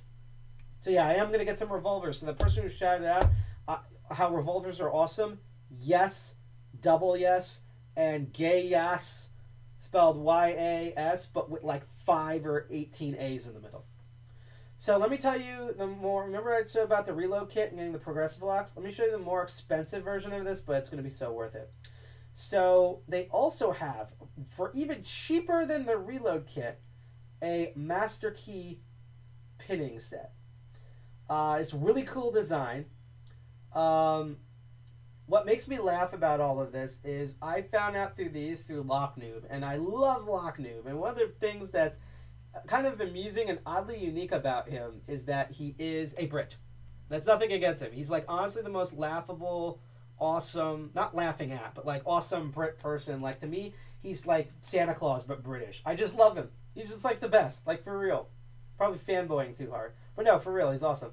And so the thing is, is that he has a certain British accent, and I'm not going to say the other word he says in his British accent that I absolutely go nuts over because it's just amazing. But one of them is so when I first saw these, it was in his video, and he calls these the Master Wafer, and I just love that. Like I, I like actively. I think that should be a drinking name if he says Master something or the other word that you just take a shot of whatever. It's just amazing. I love it. I, I'm pretty sure I say dumb things with my accent, my New Jersey, like northeast New York metro area, slightly New England American accent, and you know the American accent is basically just saying English, pronouncing English badly.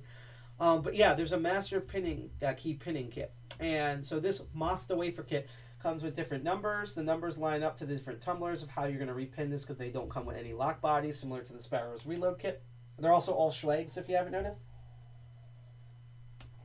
And I'm going to on air pin these and teach people.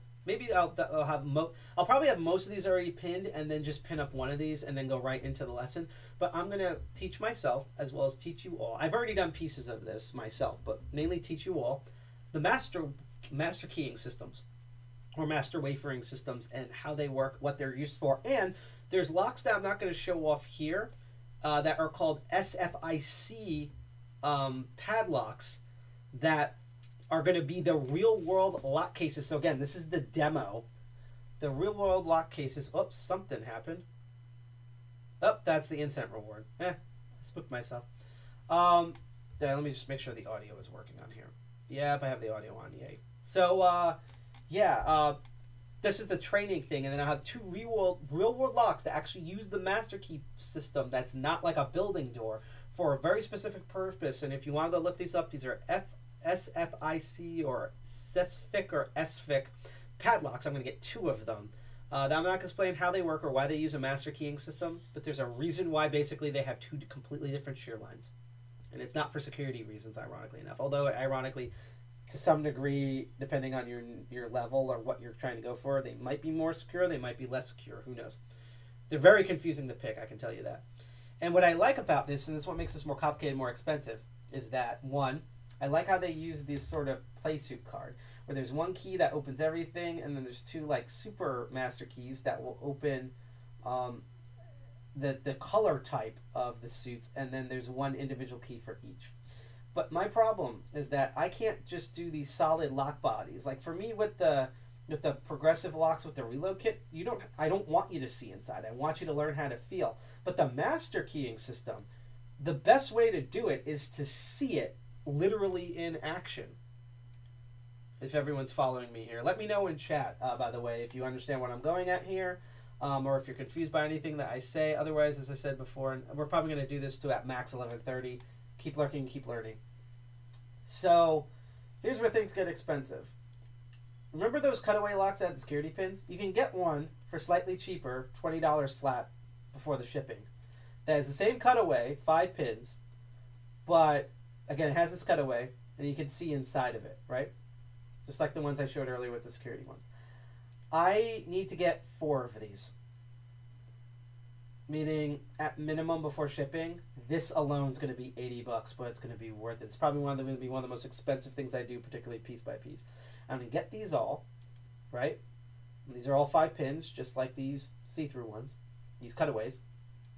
And I'm going to also spray paint them. I'm going to gut them, all the pins and the key and stuff, put cotton balls and some tape here and also cotton balls and tape to cover the window.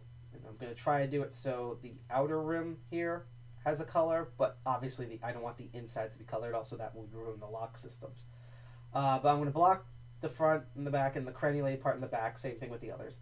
And I'm going to spray paint these. And I think the idea here is that I'm spray painting, I think, the entire lock bodies if I remember correctly, I think either they're all going to be white, or depending on how I look at the design, two of them are going to be white and two of them are going to be black, just because it's easier to. Actually, no, you're right. Two of them are going to be white and two of them are going to be black because there's a specific reason um, for how it's designed, or they might be all white. Either one will work, to be honest, but definitely not all of them are black bodied. So they're at least going to be all white, if not two white, two black.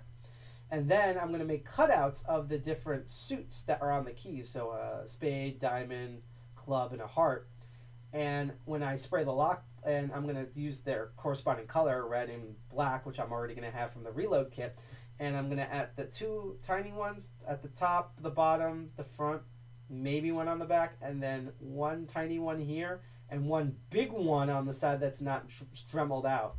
I'm going to put the heart or the club or whatever in that color. So no matter how you look at this lock, you'll be able to see a solid colored body with the symbol on it.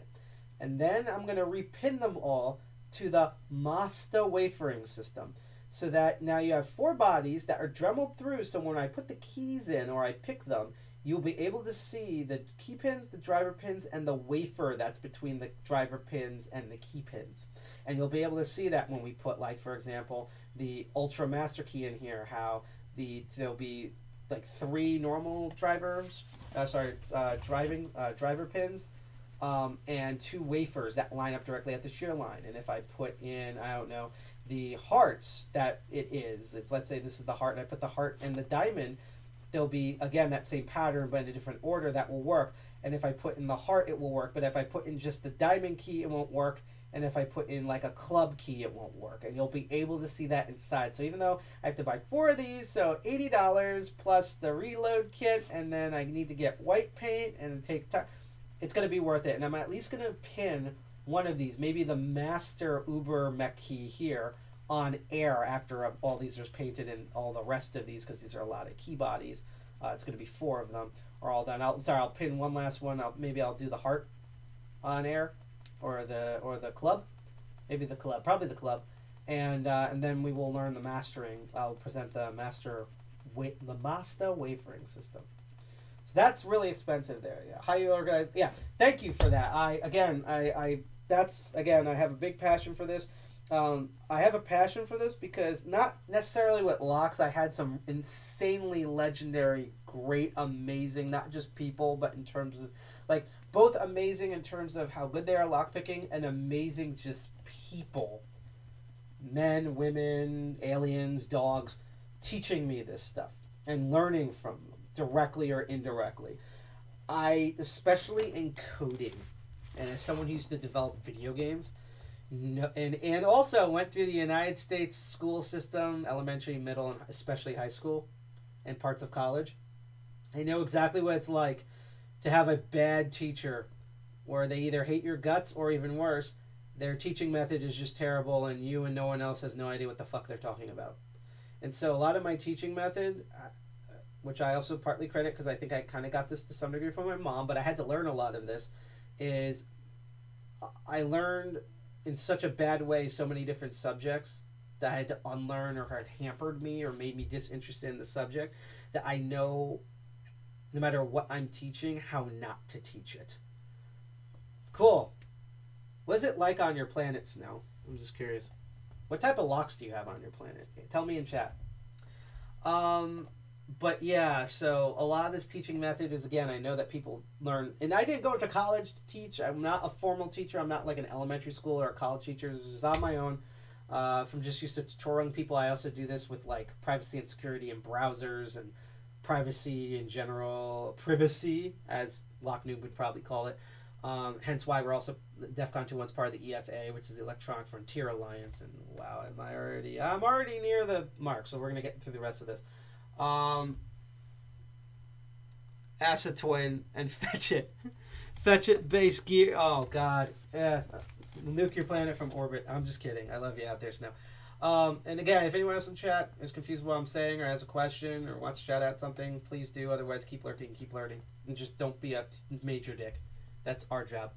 Uh, but yeah, uh, so again, like I said, my method is I know that people learn many different ways. Some people are very physical, hands on. Some people you need to sit down and do stuff. Sometimes people want a general outline, leave alone. Some people like to read instructions. Some people need to see everything. Some people need to hear everything. Some people need to do everything. And I've covered all of that and just basic tools and stuff, and mainly the methods. And also making sure to give people tips so that they don't make the same new mistakes that me and a bunch of other people have made. That somehow a lot of instructors even when they've been doing this for years, don't realize the things such as, for example, when you're here's a freebie.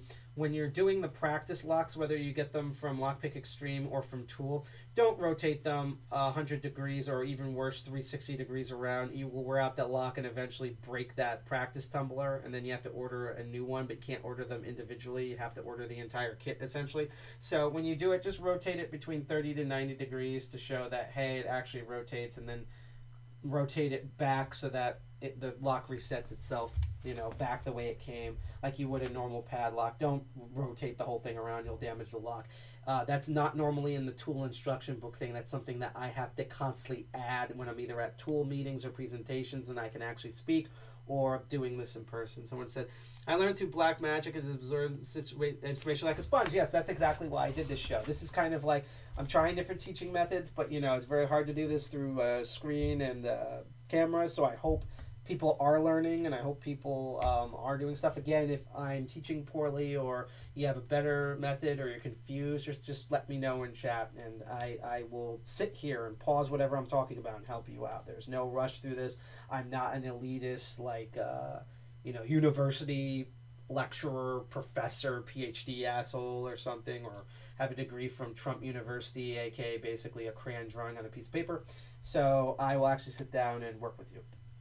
But yeah, so that so far is we just did, we made some intermediary stuff color coded, both with the keys and the lock bodies, with the reload kit and the progressive kit. And I also just might get two sets of progressive kits just to round things out when we physically meet in person again and uh, I'm going to do the master keying system the same way, except these will be drilled out locks, going to be more expensive, and I also have to do cutouts for symbols, but it should be all worth it because that way, unlike the reload kit, you can actually see what's going on in here. And then when physical meetups happen again, I'm definitely going to do one or two revolvers because it's a nice intermediary even with the progressive sets. And by the way, another teaching method again, see through whether dremeled out or clear, um, progressive and or super easy locks, and then one or two intermediary locks and maybe a hard one just for those assholes out there. Um, and this is to me a nice step between learning base pins and like the progressive spools that I have and learning how, uh, you know, with you know just having a couple of normal pins but one or two of the security pins how to learn all the security pins if you can go around the circle once or twice you know what you're doing and then i put you on um, stuff like you know the uh, the american locks 700s and uh, uh, 700s and 11,000 series and certain ASSA Abloys and uh, um, abuses and stuff like that. So, FYI, I followed your crypto stream, so I'm very glad you introduced this as well. Thank you for that. Uh, I will mention the crypto stuff at the end because I know exactly what I'm doing this month, so just bear with me. But we're almost at the end of this episode. Okay, so more stuff. More stuff. This never ends. I one of these days we're gonna set up. We're actually actively looking into set up a buy me a cup of coffee, which is basically like a bootleg version of a Patreon or a Liberapay system and cryptocurrency wallets and stuff because boy, would having a couple extra bucks help out with all of this. Um, right now at Southord, um, people have mixed opinions about Southord, but again, my, my case that I put somewhere is from Southord. Uh, not by choice, but it's been an okay case so far. This thing I really need out of everything from Southord. The other two things I'm going to show are optional. I need this eventually. And again, I'm not going to get this until um, meetups start happening in person. And this is the. Now, there's. They used to sell a cheaper version of this where you couldn't repin them. When they mean improve, they mean you can repin.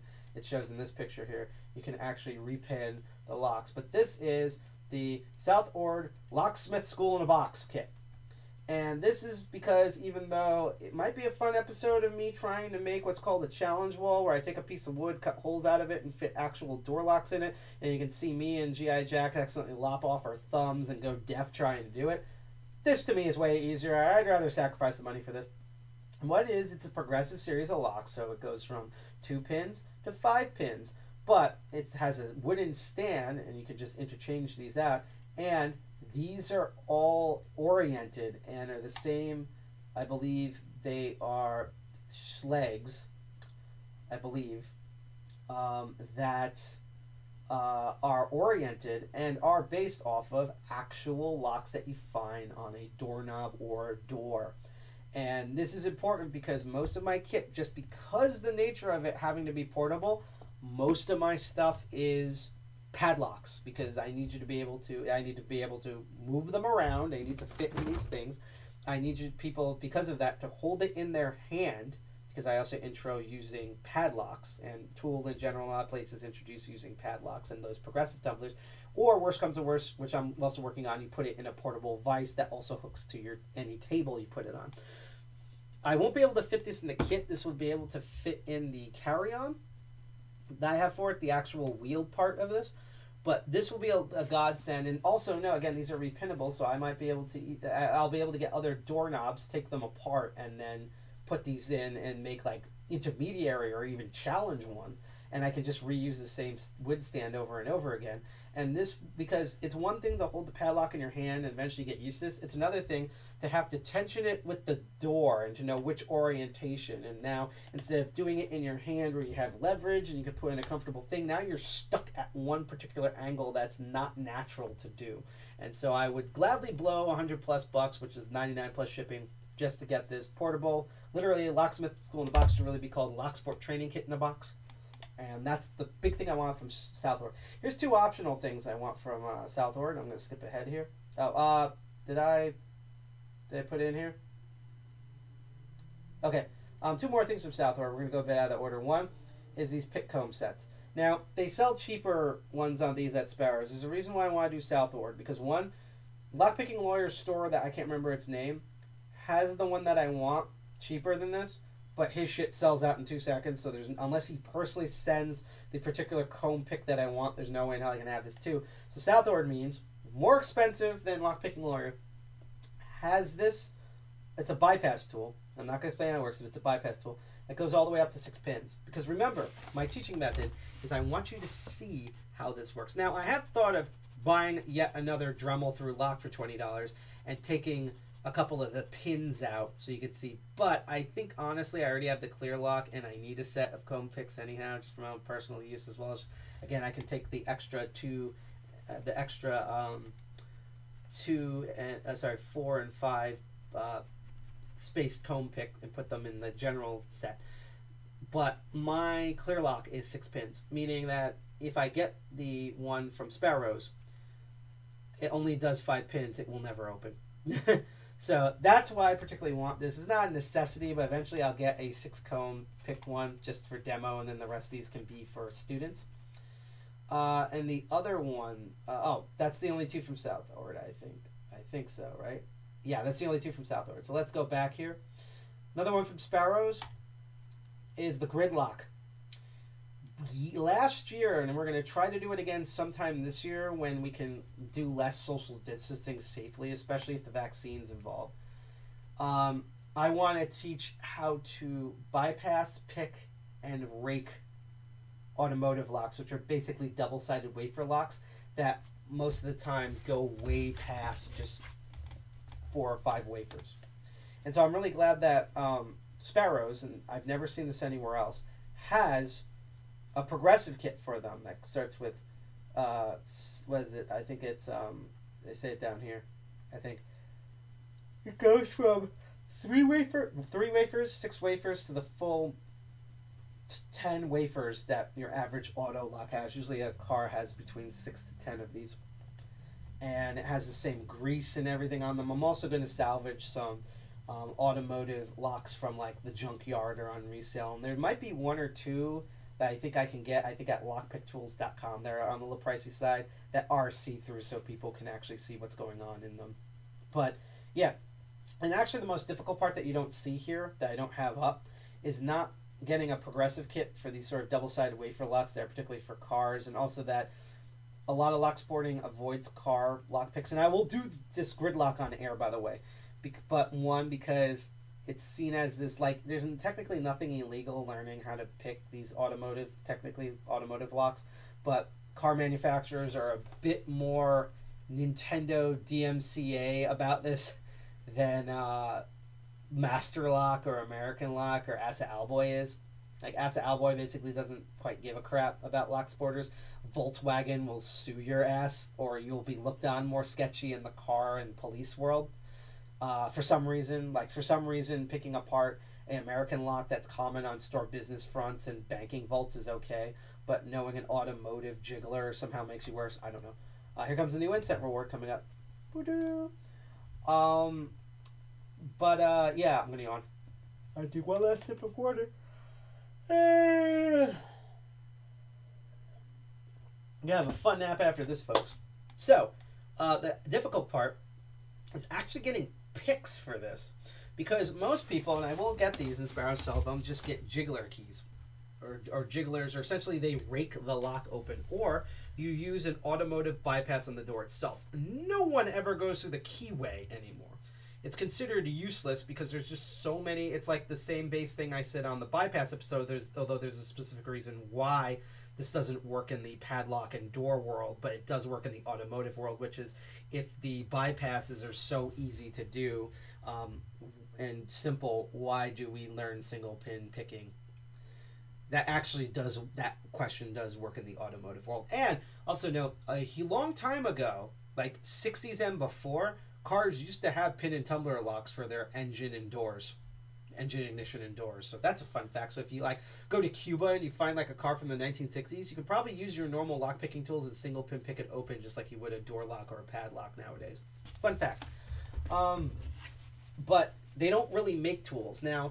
There's tools from Goso, but um, the for the fact that one, Goso the actual reason why I got that Distatain or Clear Lock is because I originally bought a different thing from them and they accidentally sent me that after like a month later. Two, that tubular lock thing I showed because I forgot to tell this story. I bought that last year in June. And the Chinese manufacturer got it to China's post service, and the Chinese post service is all that processed in three days. Then it went to U.S. Customs in mid May it finally passed U.S. Customs and got to the post office. So January, February, March. Five months later, I got the tubular lock thing because of these tariffs and also even worse now how bad unfortunately the United States Postal Postal Services thanks to the Postmaster General that is so evil and suck ass at his job I more like to call him the uh, Post Serial General instead of the Postmaster General. Um, but yeah, uh, Goso sells automotive picks for these in a kit. I can't get them. There's also a uh, automotive set that actually has single pin picks. Um, I do have a set of rakes for these that someone let me borrow. That does automotive because the problem is, is that because once you get past six wafers, when you get to ten, most picks, even the um, ball and and uh, snowman ones, don't reach enough to reach the ten wafers. So you need to, which I'm thinking one, make picks that are slightly longer, uh, or you find a clever way to purchase them, and those are uncommon because it's just easier to bypass or jiggle your way through. But I will do automotive double uh, car automotive locks, aka double sided wafer locks, thanks to Sparrows and a couple of other things. So we have a few more quick things here. Um, one, uh, not necessarily from this com- company, but I am gonna get because I know where to get this cheaper. Uh, we will be covering dimple locks.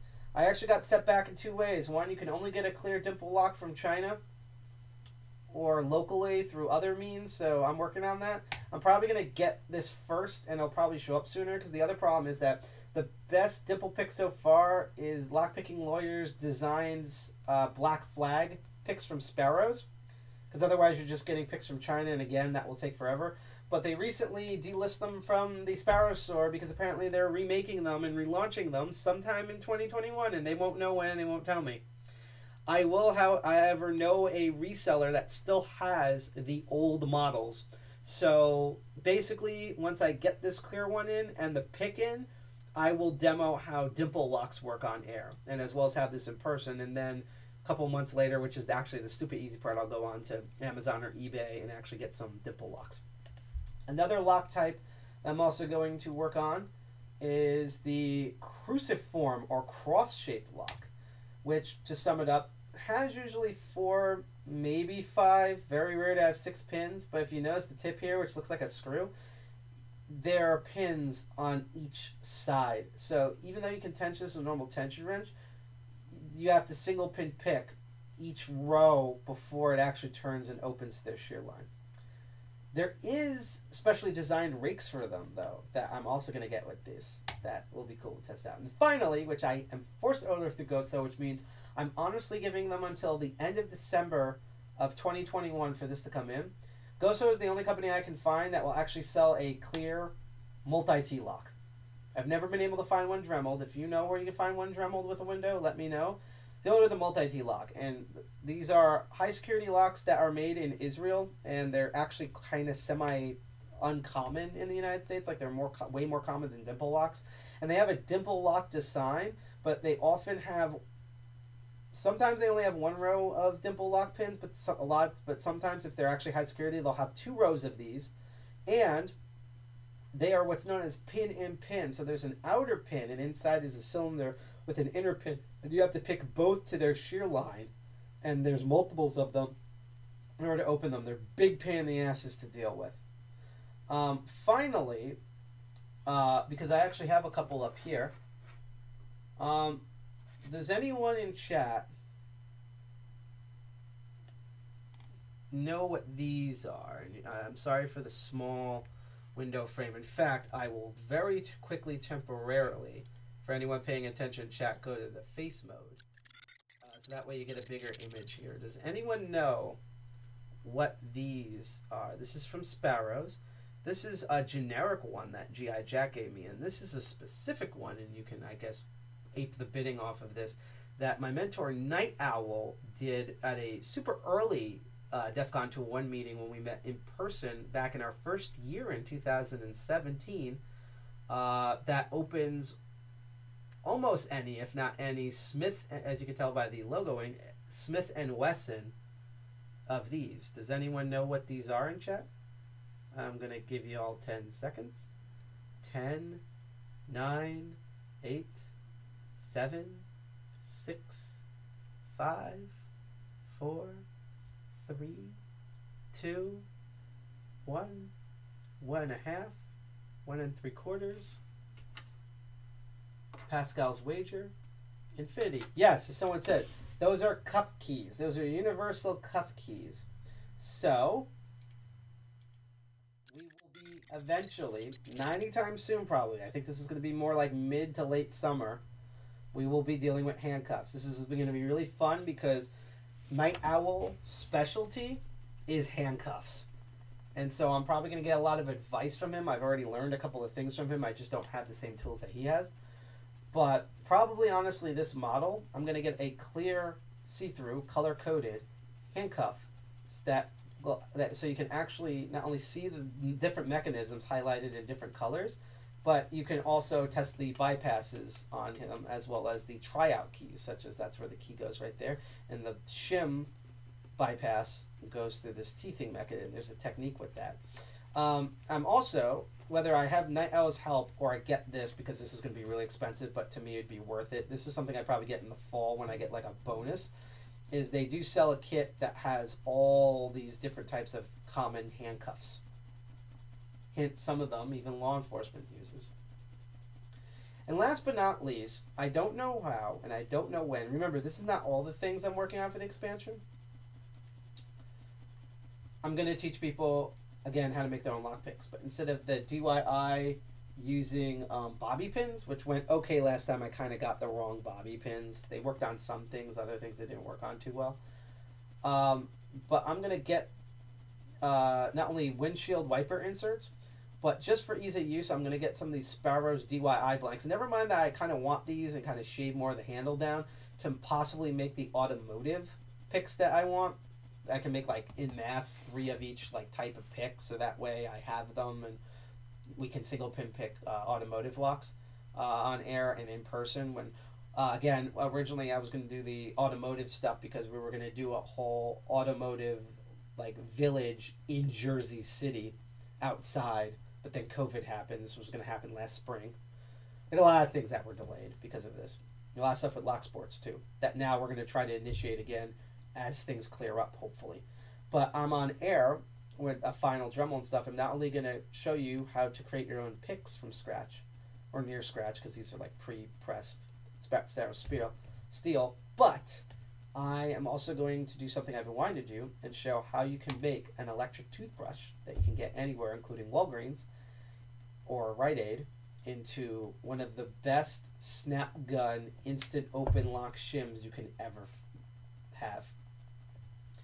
And so, yeah, that is this episode. So, uh, don't leave yet. Thank you for everyone watching. Um, let me just snap ahead here. Here we go. Um, thank you all for watching. I hope you uh, learned and enjoyed a lot. Again, we didn't really cover any new ground. This was more of, hey, it's awesome that 2020 is finally fucking over And so we are going. I just wanted to recap of how I started something, something small, in early 2020, just a progressive series, um, some uh, Master Lock um, 140s, and some old used picks, and expanded this into a whole training kit that I take everywhere that a lot of people really enjoy um, and learn a lot from. uh, Which you know, the kit alone does half the work. I also have to teach my methods, but then also that this is only half of it. How also that later on, and remember I didn't even show everything. I'm going to expand so we can do things like automotive lock picking, um, dimple locks. Uh, what did I cover? Mul-T, cruciform.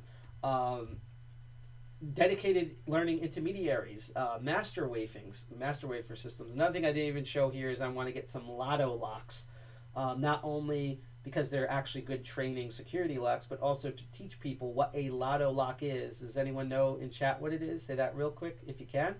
Um, and how to identify them in that whole universe. That was actually going to be an in-person DEF CON 201 talk at one point. So what we're going to do now is I'm going to find a YouTube channel that we uh, not YouTube, bleh, a Twitch channel for all of you out there on Twitch. I'm to find a Twitch channel that hopefully you're to uh, raid. Right now, unfortunately, nothing is speaking to me. So what we're to do is we're to actually uh, hopefully look at a channel that we haven't seen before. And since I'm in that category, we're to go to the uh, making and crafting section. Now I'm just to pick something that might be cool. Oh, this is immediately cool. Yeah, not only will we, if he'll let us raid his channel, I am following that shit immediately. That that is fucking sexy right there. Okay, that that is cool as hell.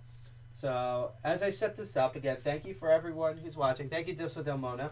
Um, I want to let people know the future stuff. Our next meeting again is on December fifteenth. I don't know what time. I'm gonna guess it's gonna probably start at uh, uh, six o'clock uh, Eastern Standard Time. All of us are Eastern Standard Time because it's it's New Jersey. Um, and our next Master of Unlocking, because remember we're the first and third Saturday uh, Sundays will be on uh, next next Sunday or uh, January seventeenth.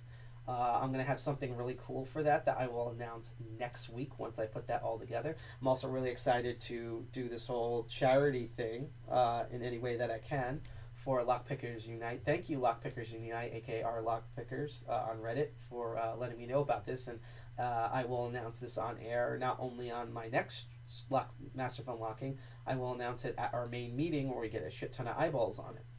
And um, we should have a Hackle Commander this week, breaking into the new year. We're definitely going to have two Archfiles Linux perspectives, second and third um, Thursday of every month. Um, this upcoming, because it's a weird month the way it's laid out. Basically, we're going to have one dead week near the end of the month. Um, this upcoming Saturday and the following Saturday, uh, which will be the 9th and the 23rd, will be my show Crypto Barons, where we learn about uh, cryptocurrency and blockchain technology as technology. I can already tell you one sentence what we're going to do there. First episode, we're going to go over Diem. It's okay if you haven't heard of it. Basically, Facebook is doing something really sneaky, and that's going to be a fun episode with a lot of code and policy to deal with. And then the following episode of Crypto Barons, uh, if you haven't heard, weed is basically now legal in New Jersey, and we're going to cover how cryptocurrency impacts the cannabis market, and including cryptocurrencies that directly affect and feed into and designed for the cannabis market. So don't forget those. And also, who knows, maybe we'll have one or two specials. We have a ton of stuff lined up from now until at least uh, July, August, including potential cons we might go to when the things open up. So I hope you learned a bunch. I can't wait till you see the next Master of Unlocking. Trust me, I'm not exaggerating or kidding. Where I'll put it this way.